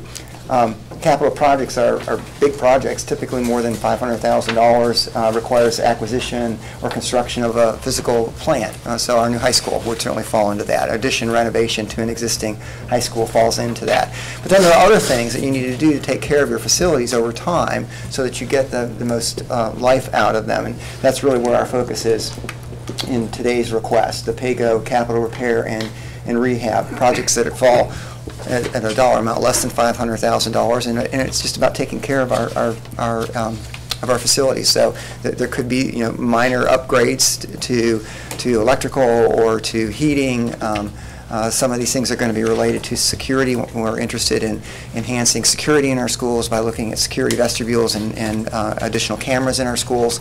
So those kinds of things all fall into uh, what we would consider um, our pay-go model. And so with that, I'm going to ask Dr. um, Thorpe to come up and talk about um, our seven-year pay-go plan. Good morning, almost afternoon, but uh, I will move through this fairly uh, quickly for you. Uh, We do have a seven-year plan. Uh, If you look, uh, main categories is flooring. Uh, We've had that conversation many times about the carpet and the floors. Uh, We still got painting, We've got about four more years of painting we need to do. Uh, Electrical upgrades for this coming year, uh, you know, we had did $8 million um, performance contracting, so we're about a third of the way through that project for this year, putting all LED lights in our schools and in our parking lots. Uh, HVAC and controls and repair, uh, part of the performance contract, and also allowed me to replace six chillers. Uh, The minor renovations, you know, that's all sort of ongoing. Roof repairs, this year, uh, we've completely re-roofed Cummings and Broadview, and we got three more projects underway. Uh, Alarm panels. Excuse me, I Yes, sir. apologize. What kind of roofs are you using there? PVC. Well, forgive me, define that for me. P- uh, Okay. It's a, um, okay, the original membranes was uh, 60, okay, we're saying 60 mil PVC. PVC has a longer life expectancy on a roof than a lot of the other roofing um, materials have. So it's kind of like PVC pipe, but it's been treated to withstand the heat of the sun and the water, of the constant laying of water. So we've gone back with PVC and we have re, um, redesigned the roof drains. And a lot of your original flat roofs, there was not much of a pitch put towards your roof drains. So what would happen is you'd have water set on top of a building, it's constantly getting hot, then it's freezing hot and freezing throughout the years, so it weakens the material. Right. So what we've done is we've come in and we've redesigned the storm drains. We've dropped the drains in some area and we've raised the insulation barriers in others to create more of a runoff going straight into that drain. Uh, So we'll do that and we'll continue our three to six month inspection of roofs. We have someone up there between three to six months every, every cycle, uh, making sure you don't have leaves, you don't have soccer balls, you don't have debris on the roof that's stopping your drains up causing that water to stand. So you're pitching those roofs with the insulation on the roof? Yes, sir. Yes, sir. We're, um, like I said, I want as much water off that roof as fast as I can. And the only way to do it in the situation we're in is to pitch it with the insulation. Question two, where are we with the black mold and overcoming? We are, since we're totally under roof, we, that's one of the projects that we're starting here probably at spring break. Uh, we got a team to come in, they'll do all the remediation. Uh, we're gonna have to remove all the, um, sheet rock, which we knew that from the water damage to Right. begin with. Uh, so we will move all the, remove all the sheet rock, um, all the flooring, all the ceiling tiles, and then start the process back up the other direction. Okay. We good? Well, forgive me, I don't want to belabor it, but. Oh, you're fine. Didn't you do, didn't, did, did, did not the system do uh, a, not just a, a pitch on the insulation, but a pitch of the actual roof, I mean, uh, in years past. Yes, sir, you can do that if you're structural supported. Right. The biggest thing you got with the roofs that we're dealing with now, especially with Cummings and Broadview, is you have so much square footage, the footings nor the walls were designed to carry a pitched roof. All right. So, I'm certainly not endorsing it. If you go No. back on the original debate, I, I was opposed to it. Okay, well, that's, but that's the reason that wasn't even considered, because it just would not be possible to do. You'd basically have to build a a steel structural surrounding around the building to support your roof if you did that. Well, the ones that we did do, what's the history of those to date? You have minimal issues. Uh, It's like any other roof, you're going to have some issues to come along. Uh, The biggest thing is you don't have water, you don't have ice, you don't have this stuff sitting on top of it. The issues you run into is the screws in the metal, if they're not torqued on a regular basis, they have a tendency to back out sometimes, so you may develop a leak there. Uh, You may have some metal to blow loose for different reasons, Uh, but that's, that's kind of minimal in the big world of what we're doing with the flat roofs. So, you know, my opinion is if it's possible without spending a lot of extra money, it's worth investigating to see if it's uh, a viable solution. But with the uh, flat roofs, I think with the pitch that we're putting on the roof itself, it's going to correct a lot of our issues. I just know that over in Guilford, for instance, not that we do anything they do, but, uh, especially in certain areas, but, uh, their maintenance people over there told me they would never put a pitched roof on an existing building that was flat. That's what they told me. And whether that's right or wrong or not, I don't know, but the maintenance people we've had from ABSS, uh, years past, stood there without me soliciting a comment and said, uh, you were exactly right about the pitch roofs, about your being against them, uh, on, on existing buildings that were flat originally. It's difficult because your soffits aren't built for it, your roast, your um, structurals. Yeah, it's a, it is a major expense. Um, Like I said, I think it's worth always investigating to see if it would resolve issues. But I would by far say is the only solution or the best solution.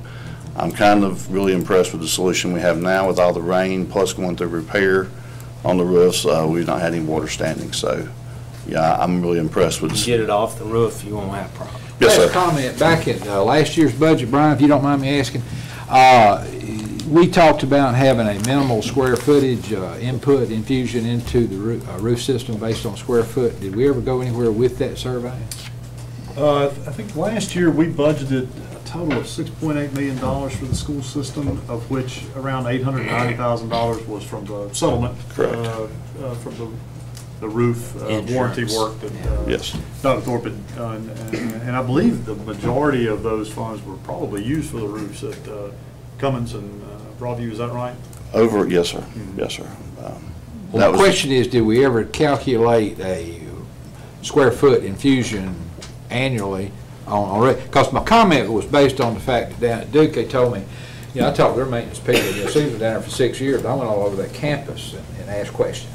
And they have a lot of flat roofs over on, on their system. The Maintenance guy said, if you put three dollars, this is what he said, I don't know this scientific at all, but I would like to know what the numbers equate to, uh, plus or mi, uh, up or down. He said, if you put in three dollars a square foot, you'll never have a roof problem.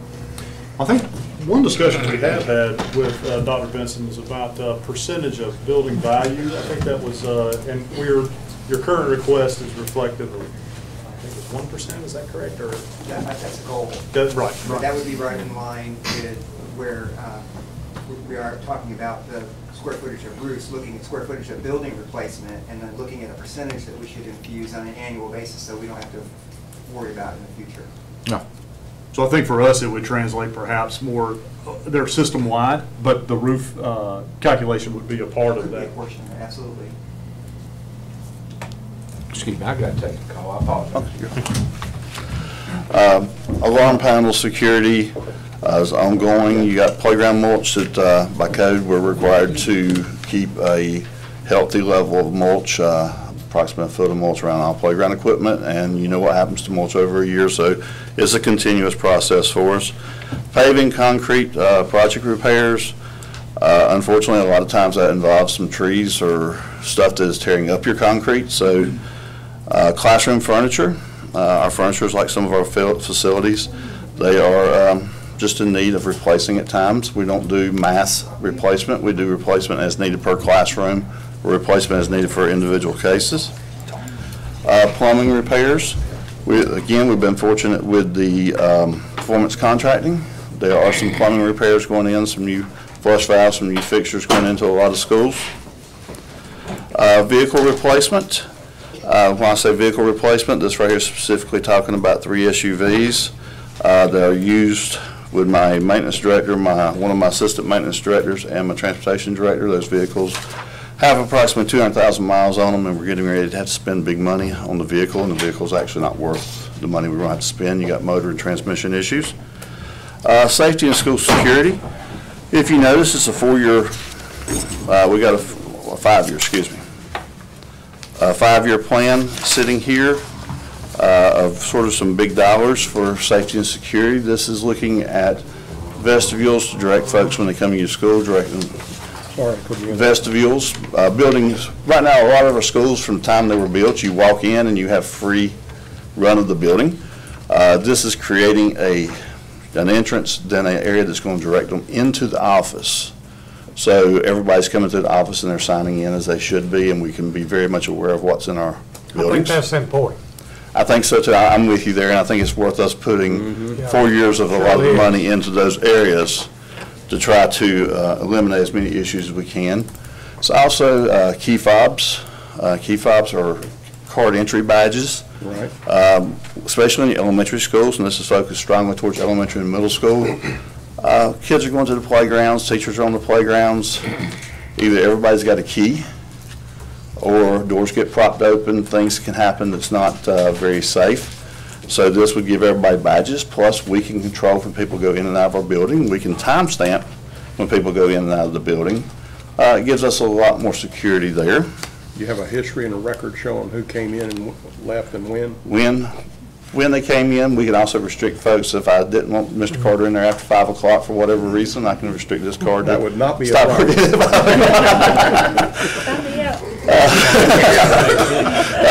No, right. Oh, Lord. Um, So that's really focused on safety, trying to put some cameras in our schools that don't have cameras. Um, Just, again, for, strictly for safety. Uh, Maintenance equipment's an item we addressed in a few years. Activity buses, uh, you've heard me talk about activity buses before. Uh, We have several, but we still have several that burn on gas that, it, they're just tired. They're like me, they're tired. They got some age on them. Uh, Window replacement, window replacement's a constant, um, it's a constant concern in battle, especially with the new energy codes and trying to conserve energy, and we still got a lot of original windows. Uh, We didn't direct a lot of money initially towards that. Uh, We see it's a priority, but maybe not a first-year priority. And then contingency funds, uh, as you well know, every time when we start the year, there's going to be some sort of failure, there's going to be something that's going to take some little extra cash. Uh, This gives us uh, about $340,000 in that contingency fund. I'm not going to go through every year unless you so choose for me to, but every year kind of models that same, that same approach to our capital planning. So total funded over seven years, you're talking a little over $23 million. Uh, On the large spreadsheet, you'll see there's close to $5 million of stuff that we say we need that's not been funded. Um, But of course, if our budget numbers are high, we may be able to take care of some of that as we go. Plus, we've removed some of the high-ticket items such as HVAC, because HVAC is a very high-ticket item, especially if you start replacing in the schools. And, you know, anticipating maybe the $16 million bond, statewide bond. Uh, That would be a good place for us to direct some of those funds because it's very difficult to split some systems as you go through. Uh, Just a little history on our state bonds. You know, if you notice, we usually pass a state bond about every 10 years, but it's been almost 20 years at this point. But, you know, between 2000 and 2010, we was in such a recession, I don't believe the state passed a bond. Uh, Summer projects, you've seen these, so I Keep going. will, I just want to say how thrilled I was to receive this um, seven-year plan. Um, I think this is a, as far as I understand, you all who've been doing this longer than me can please correct me, but I think this is a brand-new approach in Alamance County toward building maintenance and upkeep, and I just think it's wonderful. And has this been shared with the school board yet? I haven't seen it at a school board meeting, but, It was shared Friday It with them with some updates. all right, it's wonderful. This is a, just a few hours worth of work, but it's, it was, it's worth it. It made us, uh, yeah, we really had to evaluate what we needed and how quick we needed it, so. Very delightful. Just to quickly move through, you know, we've been doing school painting, and the schools have been very receptive to school painting. I will pick on this picture right here, you see the terracotta tile. Uh, That's some of the flooring that I'm saying that's uh, at times are having to be replaced, floors are starting to float. Uh, Just some additional painting projects, uh, just trying to clean up some areas that needed some additional care. Dr. Thorpe, I'm gonna cut you off if that's all right, unless somebody has particular Okay, questions about any of this, because you started at ten fifty-five, and I'm seeing it's eleven forty-four, and we still have other presentations to do as well. And we know y'all have a lot of work to do, unless some, if a particular I'm good with commissioner it. has a question about a particular thing, I think that, um, at least some of it's self. We'll just move right on to the last couple Can I ask, slides. ask a question about one thing? Sure. Uh, Getting back here to mobile units, Uh-huh. That's what, exactly what I was gonna ask. That's a Um, good, good subject. with the new high school, I know that's not gonna alleviate the need for mobile units in the uh, elementary schools and in the middle schools, I guess, I- and I don't remember where we have, it, how many where. The majority of our mobile units are at elementary schools, and then secondly is at the middle schools. Uh, High schools probably have the least number, uh, average-wise. But, and I should have mentioned this when I was talking about the state bond, that would be one of our goals, using state bond money as well, if we could eliminate some mobile units by adding some classroom space in different areas. Uh, because we definitely not going to do $16 million worth of I think that's a HVAC. great idea. I do But too. to really try to focus some of that, to try to eliminate some of our areas, such as Eastlawn, I'll pick on them, they have quite a few mobile units, South Graham has quite a few mobile units, to see if we can't build some six, eight, 10 classroom buildings to eliminate those. How many do you have? Something more defensible. Approximately 50, I don't have the exact number my head, but that's, That's about what's been for yeah, it seems like every time we lose one, we have to get, add one somewhere else. And on a good note on mobiles, back when we were first talking about this decades ago, we had, the state average was ten percent of the students in the state were in mobile. We were at five percent, and that was, that was good news. Mhm. I thought. So, Zero's even better though, right? Well, yeah, well, I don't know, you know, some, some teachers like them. and- Yeah. Yeah, serves a purpose. It's just, it's just hard to maintain a high level of security and safety in them. That's, the- that's the biggest issue we're running in today's times. So I don't endorse them any more than what we got, I'll assure you. Uh, If you'll flip over, I'll go to our summer projects. This is our list of projects that we're planning on tackling this summer, um, which is falling in line with about 1.8 million, which is very close to what we do every summer. The, um, and some of these projects are planned to start a lot earlier than, than summer, which, on that, like I said, that happens every year for us. Uh, Requesting to use revenue available to ABSS in the current fiscal year and that we request no impact to pay-to-go amounts for next year as a result of these projects. And that's part of our conversations in our meetings is how we're going to fund these projects and still be able to fund the bonds the way it was recommended. And so for our request summary, uh, we're asking for basically an increase of $679,000.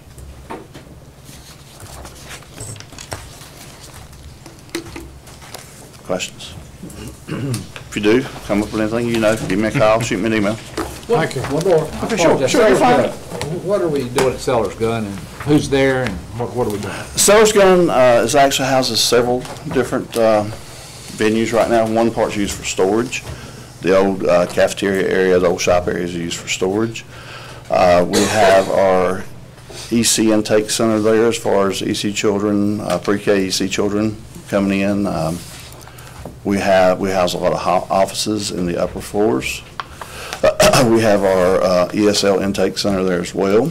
Uh, Budd Group, uh, that's where their home, they got a little area they call home there, as well as we got staff development and PD going on in a lot of the classrooms that are still left. We converted some of the old um, locker rooms into PD rooms. So it's a large area that we can meet and we can have multiple things going on at one time during the school without interrupting a school. Okay. Dr. Thorpe, I wouldn't be doing my job if I didn't ask, what's the civil rights audit findings with the question marks under Oh, the summer okay. projects? I'm sorry, I was kind of rushing. Uh, Our high schools, our career technical education, um, they go through a civil rights audit, I think it's every five years or so. And uh, we were lucky this year to go through it. We've not seen the results. Uh, A lot of times comes back, you may have some ADA access they have issues with, uh, may have some water fountain issues, maybe some bathroom issues. Uh, We don't know. We are in uh, conversation with them, giving them the dates, giving them bonds, uh, information, giving them as much information as we can so we can, you know, fix what we need to fix now and let the bond address what the bond can address. Okay. Okay. Yes, let's take a five-minute recess. All right, let's uh, come to order, please. Thank you. Next on our agenda is Sheriff Terry Johnson with his uh, budget presentation for this year. Let me say, uh, uh, good morning, or good afternoon, I don't know which. A few seconds, it'll be Few- That's what I was thinking. Uh, The budget I'm going to present to you today, uh, certainly about four or five weeks ago, I put a budget together with all the costs, and then uh, working with finance and Brian here, it was decided to try to break everything out for ICE out, have an ICE budget, et cetera. So I'm going to try to do the best I can under the circumstances, explaining everything to you. Let's get started. Well, you did look at it after you got back from Jamaica, though, right? I, hey, I finished it at ten o'clock last night. Uh, what we have here is the, we have four different budgets with the Alamance County Sheriff's Office. We have the Sheriff's Office on outside operational side, we have the detention, we have SRO, and we have ICE. So I'm gonna try to cover all of them if I can, uh, very quickly, because I know y'all hungry.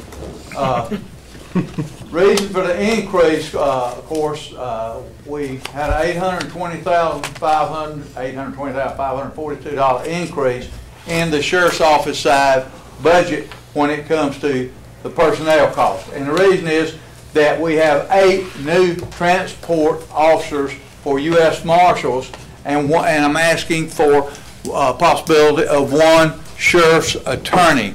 And that cost for the sheriff's attorney would be ninety-three thousand, three hundred and seventy-nine dollars been allocated. Now, you say, why do you need a sheriff's attorney? I can tell you why. We're driving Clyde Albright and being crazy with questions, with FOIA requests, etc.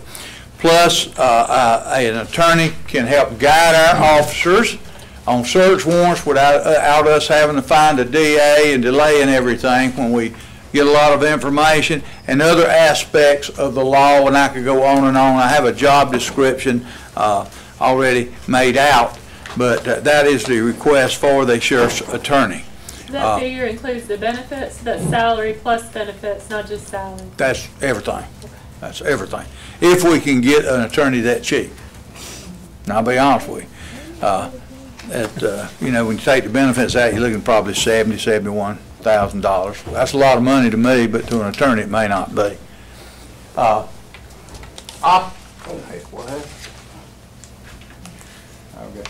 Uh, Operating cost, uh, an additional two hundred and thirty thousand, four hundred and eighty-eight dollars from last year's budget. Reason for the increase, uniform cost increase of ten thousand, ammunition and range supplies increase of fifty thousand. And, uh, let me talk a little bit about the uh, fifty thousand dollar increase. Our uh, qualification scores used to be seventy percent. We raised it seventy-five percent because of all the problems in the nation with uh, officer shootings, et cetera. And with that, takes more ammunition and practice, plus the fact that we've got several new officers coming on board that's going to have to qualify on the range, we do that twice a year. Thirty thousand uh, dollars for new personnel uh, uh, increase. Automotive supplies ninety-one thousand. You say, well, Sheriff, why ninety-one thousand? We're gonna get, we're gonna get a lot of that back because the marshals will pay fifty-eight, I think it's fifty-eight cents per gallon for gas now. They also bought us a couple vans uh, to transport these individuals on, which is, uh, is helping us uh, there. Uh, Capital outlay uh, and uh, is two hundred five thousand five hundred one, uh, increase, that's capital raised increase, is twelve new patrol cars, three hundred sixty thousand, and new computer in-car cameras for those cars, and replace other cars, hundred eight thousand dollars. This is something we've done every year, replace 12 every year that was uh, agreed upon here. Of course, you can see it's an increased budget for $1,256,531. Now, the uh, Department of Revenues for this coming year, we're showing 637,000 and uh, for the uh, Department of Revenue, that will come uh, from things like your uh, carrying concealed weapon fees, uh, civil pay, et cetera, et cetera. General revenues, uh, twelve million, four hundred twenty-nine thousand, six hundred ninety-four dollars for total revenue of thirteen million, sixty-six thousand, six hundred ninety-four dollars for this particular budget. Now, that, in- a lot of the increase, like I say, uh, will be, as, uh, will be offset with U.S. Marshal. They paid for eight sworn deputy sheriffs in their eighty-two dollars per day per inmate. And uh, they'll be paying for a lot of the gas as we transport the uh, uh, federal prisoners to Greensboro, Rome, uh, wherever they have to go to court, Winston-Salem, where our courts are held here. Do do you you have access to using those vans for transport people locally? I mean, We, we possibly can if we have an individual going the way they Yeah, the you're go. going. Now, ICE, we cannot. We cannot with the the ICE vans. Let me ask you a question. Yes, Uh, sir.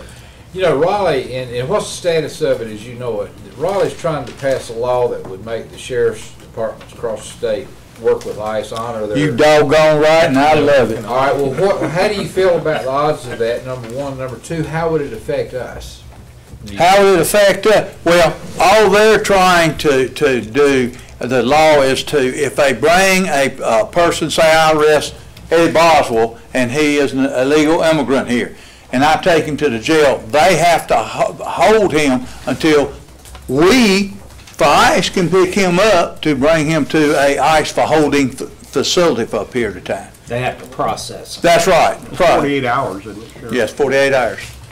And that's why they were needing someone to, to- and we, like I said, we got eight people that, uh, two teams of four that's, that's doing that for us. We go to Raleigh uh, every day, we go to Charlotte every day, and anywhere else uh, in the state, they send us. But, well, And they're paying is, for it. Wouldn't you think it would put more of a demand on a single office like ours, or would Mm. more offices come about as a result of it, do you think? If they actually I do. think, I hope it passes. I hope it passes. I do too. It I needs mean, to be done. I agree. These sanctuary It- cities. It's, need to it's be gonna make us have to hustle, I can tell you that, uh, especially in, in transporting these individuals, because they come back here, we're a holding facility, it looks like right now, we, we will be able to hold for four, only forty-five days until some other things is done. And so that's gonna cost them uh, to have to get them out of here, let's get them to Charlotte, from there, uh, whatever they do. Uh, Usually go down to South Carolina or Georgia and then fly out of there back home on. Are there any questions about this particular budget? I know I went over fast. And to give you just a little update, just uh, the month of March, the ICE billing, just for ICE, is $248,130 uh, for the days. For the marshals, it's $190,650 just for the month of March. So, uh, we will be able to pay for the stuff that we're, we're getting to run these two programs. Sheriff, do you, do your guys, any of them have body cameras? I mean, I know a lot We, of local. we want to put these in the vehicles. I am looking at doing that, possibly out of federal drug seize money, since we don't have to put the lock and keys uh, out of federal drug seize monies in, in these vans. 'cause, uh, w- And uh, body cameras, no, we don't, and I'm gonna be honest with you, I do not bel- uh, think body cameras are good unless they are attached to the barrel of a pistol the demonstration we had uh, up here in Baldwin, we got in a scuffle. Graham had the all-new body cameras on, and guess all we saw? was the cement. Was the cement. Showed the whole. Oh, yeah, it didn't, it didn't show the fighting and, and the arrest and stuff like that. The only camera showed any part of it was the camera on top of the courthouse. So, that's where we're at. Have, anybody have any questions on budget forty-three ten? Now, what's behind that, if you'll turn, you got a blank sheet, and it's, uh, I'm showing just our original request, and a lot of those requests were taken care of when Brian transferred money into the fund to cover the, the uh, ICE situations. But those just showing some of our needs, uh, each one of them. If we could, the detention center. Now, the uh, personnel costs has uh, gone up 827,641. uh, dollars. Uh, We have in the the detention 125 full-time employees with five temporaries. The main reason for that increase was our detention received uh, a 3% from Sergeant Below, 3% increase from Sergeant Below for our detention officers, which was greatly needed. And uh, our operating cost, uh, uh, of course, is uh, $3,101,304, the difference of $181,387. Reason for this increase, well, most of it is 96,000 increase in medical costs plus increase in population of inmates, clothing, food, etc. Uh, Helps offset that cost. Capital outlay, sixty thousand dollars. Reason for that, we are asking for two new vans to replace our old van and patrol cars that's been doing local inmate transportation all over the state. If we knew we could, uh, you know, the, the the marshal van may be going somewhere and we can put some, we can do that. But that ain't always. We cannot put a local inmate on an ICE van going anywhere. It can't be done. That's the reason for that. What's the jail budget again? I apologize. Uh, Eleven. just, oh, hold on. Eleven, uh, th- no, that's revenue, excuse me. Eleven million, that's not all the re, oh, excuse me, eleven million, four hundred seventy-nine thousand, seven hundred ninety-two dollars is what I'm showing. Is that right? I guess- Okay, let me say this. Based on, you know, our agreement uh, with ICE is that they would pay for 50 beds where they would fill them or not. With that figure, 50 beds times 335 days, because 30 days, you know, it took us that long to get the contract signed, times 135 is $2,227,500. Today, we're holding 76 ICE detainees and 96 U.S. Marshal inmates, way over what they're willing to pay. We agreed for marshals to hold 44 beds for them. And uh, so we're, How is space in the jail? Uh, well, it's, it's really tight now. We have sent some inmate, we have, we're keeping misdemeanor inmates from other part of the states, but they were only paying $40 per bed.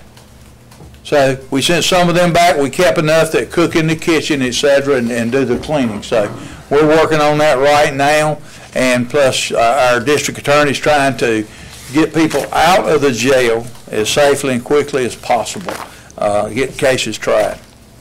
Have you been able to pick up any more uh, uh, detention staff from the situations over in Guilford? Oh, yes. Not only there, we, we, uh, we got, uh, we're getting some real excellent candidates, and I'd like to thank the commissioners, and the reason we're getting those excellent candidates, I'm telling you, is the supplement that this group voted and Hope Raleigh will pass for us, and a three percent increase. So thank y'all, uh, I hear it every day, and, uh, that's not a good job back there, I can tell you that. Well, it is a good job, but it's a dangerous job. Okay, that's our, end of our second budget. Let's go to our third. SRO. Technically, we, uh, operating cost, uh, uh, increased, uh, five thousand two hundred forty-seven dollars, uh, and of course, uh, then we had, uh, fifty-three dollar, difference between the, uh, twenty, eighteen nineteen and the 2019-20 budget.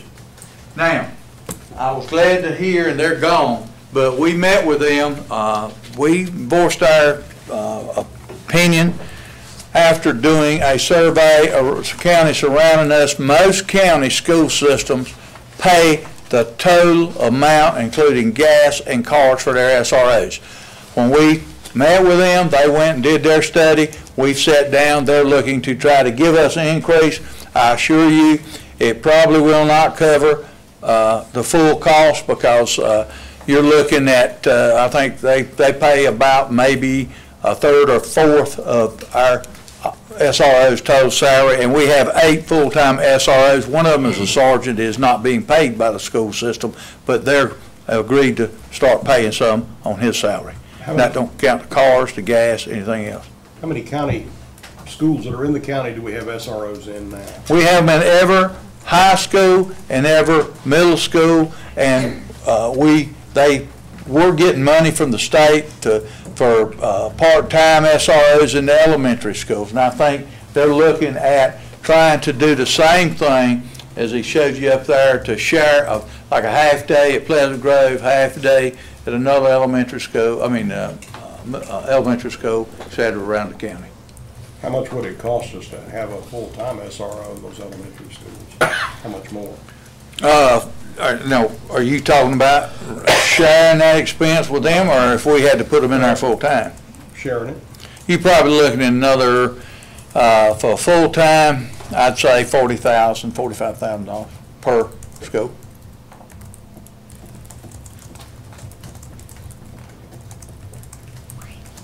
certainly, uh, I'll be honest with you, down the road, you're probably gonna see legislation passed that that be done. Now, I don't know if they'll fund it, but with what's going on in our, in our public schools around the country. Sure.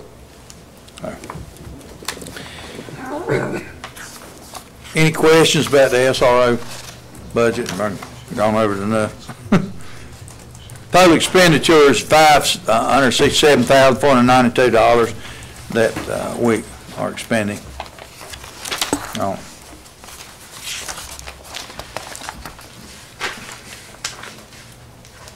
ICE budget. We, the reason, uh, personnel costs, of course, we had no budget for ICE until this budget. So personnel costs, one million, twelve thousand, one hundred sixty-seven dollars. The reason for this increase is we have, they gave us, are paying for twenty-two non-sworn detention officers and eight sworn corporals to do transportation for ICE only. And that is, like I say, we do a daily run to Charlotte, daily run to Cary, and sometimes other places like Dare County, if we have to, where they have someone and they don't have nobody that can pick them up, we go get them, bring them back to Cary, they process them, then from there they come to the detention center here. Uh, there, uh, operating costs around twenty-nine thousand, one hundred and fifty-one dollars, and let me say this, also, we do get fifty-eight cents per gallon per vehicle per mile on this. And if we have to, to go, say, we gotta go to, to, uh, Dare County, pick up Steve, an ICE inmate there, our trip stop, we, we take the mileage from Alamance County to Dare County, it stops, and if we leave Dare County to go to, back to Cary with him, and pick up somebody on the way, you know, that mileage counts till we get back home here. So And basically, they if you are- have a inmate in the vehicle, you're paying, getting fifty-eight cent per mile. Absolutely, well, not only, if it's not an inmate in the vehicle, if we're going to get an inmate, So if you, you get. That's right. Charged. That's right. Dead heading out and bringing back a load. do what now? Dead heading out and bringing back a load. Yeah. That's about right, Get yes, it sir. both ways. on- Yes, sir, Yeah. sure do. It's going, it's, it will more than pay, for- I think, for the upkeep of the vehicles. And uh, like I say, ICE uh, bought uh, vans for us to use that. And that's, uh, right now, we have 296 uh, sworn employee, or not sworn, but uh, officers in the Alamance County Sheriff's De- Detention and outside. So, yes, it's getting to be a bigger headache. But do you have any questions along those lines? And I know uh, probably covered them more hurriedly than what you wanted me to. I just wanted to say, Sheriff, that I do, um, going back to, I think, your first slide, I do support you getting your own attorney to, uh, work directly with you in large part because we're looking at doing some things in land use in Alamance County. And I think that, um, things work out the way that I hope, we're going to need the services of an attorney to help guide the county through that process, and there'll be a lot of work involved in that. And I think that it's a great thing to take funds through the ICE program, hire an attorney for you, and then that in turn diverts resources that are able to be used for other important things that the county wants to do. Well, that- that's certainly up to the commissioners. I do want to make it clear that, you know, that I, I don't have any problems with Clyde. Uh, uh, He served me well during my lawsuit. Still am. And still- Which one? Uh, But, you know, I feel like that, that all these FOIA requests, that I have to pick up phone every day and say, Clyde, and Clyde, I know they got, him and Ben are working, got better things to do than to handle that stuff, but if we had our attorney could handle the FOIA request for all of the papers and information, uh, certainly advise us on our, some of our criminal investigations and make sure the, the search warrants is correct. Of course, my people are very good with search warrants, but it always don't ha- hurt to have a second set of eyes and to work with the district attorney's office in getting some of these cases over there quickly, tried, and out of jail. Will this attorney be housed at Sheriff's the office. sheriff's office and mm-hmm. everything, and Yeah, because we'll be, and you'll yeah, pick? ask, you pick can ask up Clyde, we call him all the time, and I feel bad about it. I think that between the personnel kind of issues, investigation issues, contract issues, um, That's all in the job I mean, description. that's a lot. and policy issues. They will review uh, every policy we got, or we- if we had to make a new policy, to make sure it fits. And at the same time, every policy the federal government has, and if there are some issues there, they negotiate from there. I would feel that person would have to be qualified and Absolutely. doing there in that Yeah, I t- I particular told, part of the law. I told Clyde I wanted to steal Ben from him, but he got, he wouldn't let me have him. well, You might have enough money though. I don't know. Anybody else got any? All right. Thank you very much. Sheriff. I also would like to thank Finance for working with us and, and Brian uh, on this. The sheriff's been very helpful. His budget's uh, complicated budget, d- different piles of money's becoming a little more complicated with ICE, but uh, we've appreciated him and his staff. They've been very transparent working with us. Thank you. Thank you. All right, next on our agenda is to have our noise ordinance discussion. And then following that, we have on the agenda to discuss our evaluation process for our uh, board appointee employees. Um, We're at 12 o'clock, 21 minutes and a half. And we also have two people, I don't I see Donna Poe is he- still here. Uh, I don't, we had two more people signed up to uh, do public comment. So my suggestion, uh, leave this up to the board, would be to table the noise ordinance discussion and/or the uh, board appointee evaluation process discussion. I may be willing to make a motion to that effect. Let's do it hand, both of them. May I ask a question on the noise ordinance? If we vote on an ordinance, does there have to be a public hearing? That's a good question that I was wondering. You've already had your public hearing, Commissioner, and if you vote on it, and if it passes unanimous- unanimously, uh, you don't have to vote on it again. If it doesn't pass, if it gets three votes, four votes, if it's not unanimous, then you bring it up again within 100 days, and it gets voted on again. Have we made, it? have we had a public hearing on the new amended ordinances? Well, the ordinance that's, that I've drafted is based on the public hearing and your comments and direction to me. That, that came out of that public I hearing. thought you got everything covered on this, on this last one. I made sure I had, I made, I made sure I had your, yours in there and uh, Done a good the job. chairs and Mr. It's Carter. got it all covered. Yeah, I'd say we table those two. Did you ever Steve, find out about the? Both of them.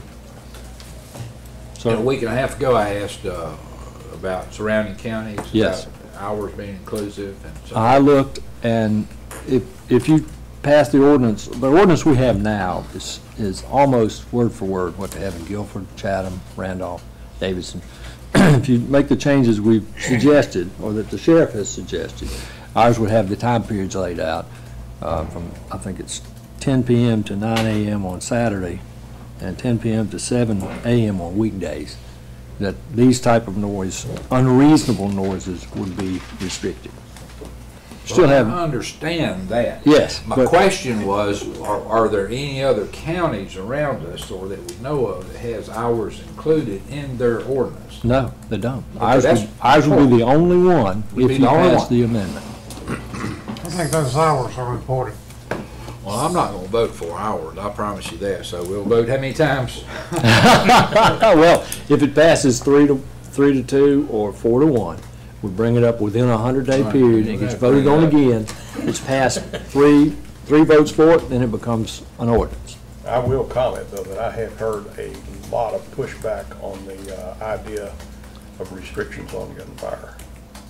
Well, I think, People um, say they, they bought in the county, they live in the county, somebody else moves into the county. The the one I've heard that's most common is, if you move into the county, you should know people that already live out there, do some shooting, and they're, that's part of living in the county.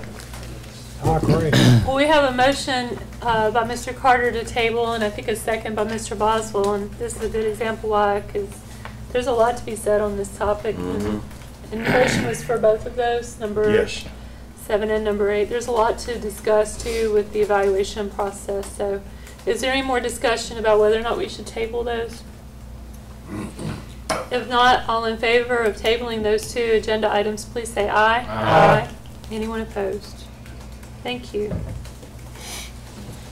All right, uh, this is our second public speaker um, agenda slot. And this is for things that were not on the agenda, but for items of public interest. And citizen of the day for her patience and persistence is Donna Pope.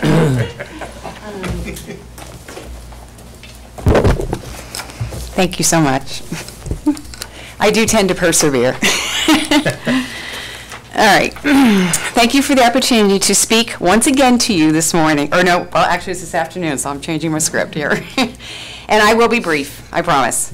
Um, As you know, I am Donna Poe from Snow Camp, representing the citizens of southern Alamance County who fear for the end of their peaceful life, health, and well-being as a result of the proposed stone quarry that slipped past all of us, including you, our elected officials, and other other county leaders in January 2018 by a sloppy ordinance, a checklist, signed off by one county employee no longer here. You know the story. Since our awareness last October, which was nine months after the county permit was approved, a handful of us, meeting after meeting, have pre- presented to you our reasons for dismay and request for answers. You've listened, questioned, and empathized to our pleas. You've admitted, how could this be?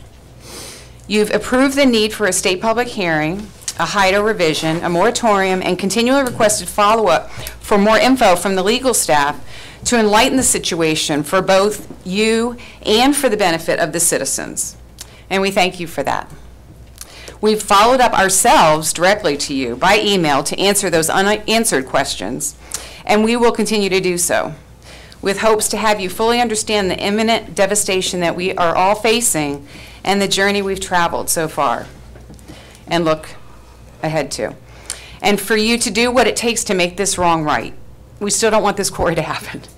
So today, I am also presenting to you all the letters and, and public comments from hundreds of Southern Alamance citizens, most of whom you've not seen or heard from personally, along with regulators, expert witnesses, legal opinions, to include our House Representative Dennis Riddell, and Colonial Pipeline, all submitted and presented uh, originally to the state DEQ, all public record online, um, over the past several months as to why there are way too many risks for this mine to happen. It is my sincere and respectful request that you personally take the time to prayerfully read through these letters. And I apologize in advance, my little $30 Walmart printer could only do one copy of each, so if y'all can share, maybe someone can make copies for each of you. Just please be open to God's leading and understanding. Thank you for your time. Thank you. Thank you, Ms. Poe. Thank you. I will, I'll give these to our clerk, and um, we'll make sure that they're available to the other commissioners and that they're included in our minutes. I appreciate that. Thank you. Um, Jason Dowdle signed up to speak, but I think that he had to leave. So that's, that's a shame. Um, So, do we have any commissioners' responses to the public speaker? I admire her uh, per- perseverance. Perseverance, that's the right word. Whether I can change anything or not, I admire you for get strength. being the citizen, citizen that you are. Yes, so very engaged. All right, uh, Mr. Hagood, do you have a county manager's report today? Uh, Just to let the board know that uh, you can be expecting more budget information at our next meeting on April 15th. Uh, We'll qualify that as our retreat. So I'll be presenting a lot of information about county government budget overview uh, that we're seeing so far. And that's all. That's a night meeting. Yes. Great. Uh, Do we have any commissioner comments today? If not, we'll be adjourned.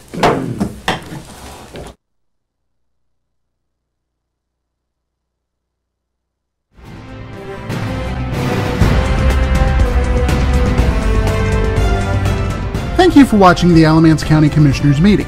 Meetings of the Alamance County Board of Commissioners occur on the first and third Monday of every month in the Commissioners' Chambers at the County Office Building at 124 West Elm Street in Graham. Typically, the first meeting of the month occurs at 9 a.m. and the second meeting occurs at 7 p.m. Changes to the meeting schedule will be posted on the county website at www.alamance-nc.com. The video of this meeting is broadcast on local Gov TV.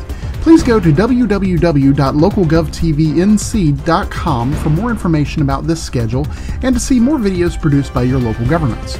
You can also access this meeting through our website at www.alamance-nc.com or at our YouTube channel. Technical questions regarding this meeting's broadcast or production may be sent to our county webmaster at webmaster at alamance-nc.com. This address is for technical questions only. Comments and questions about the content of the meeting may be made to the commissioners themselves. You can find their contact information at the Alamance County website at www.alamance-nc.com. There, you can click on the link that says County Commissioners to learn more about our commissioners, read minutes and agendas of commissioner meetings, and find other information about the County Commissioners. You can also send mail correspondence to County Commissioners, 124 West Elm Street, Graham, North Carolina 27253. Again, thank you for tuning in to the Alamance County Commissioners meeting. Thanks for tuning in. If you're watching on YouTube, be sure to hit the subscribe button to stay up to date on all our latest video content. If you're watching on LocalGov TV, be sure to visit their website to see all of the content made for you by your local governments.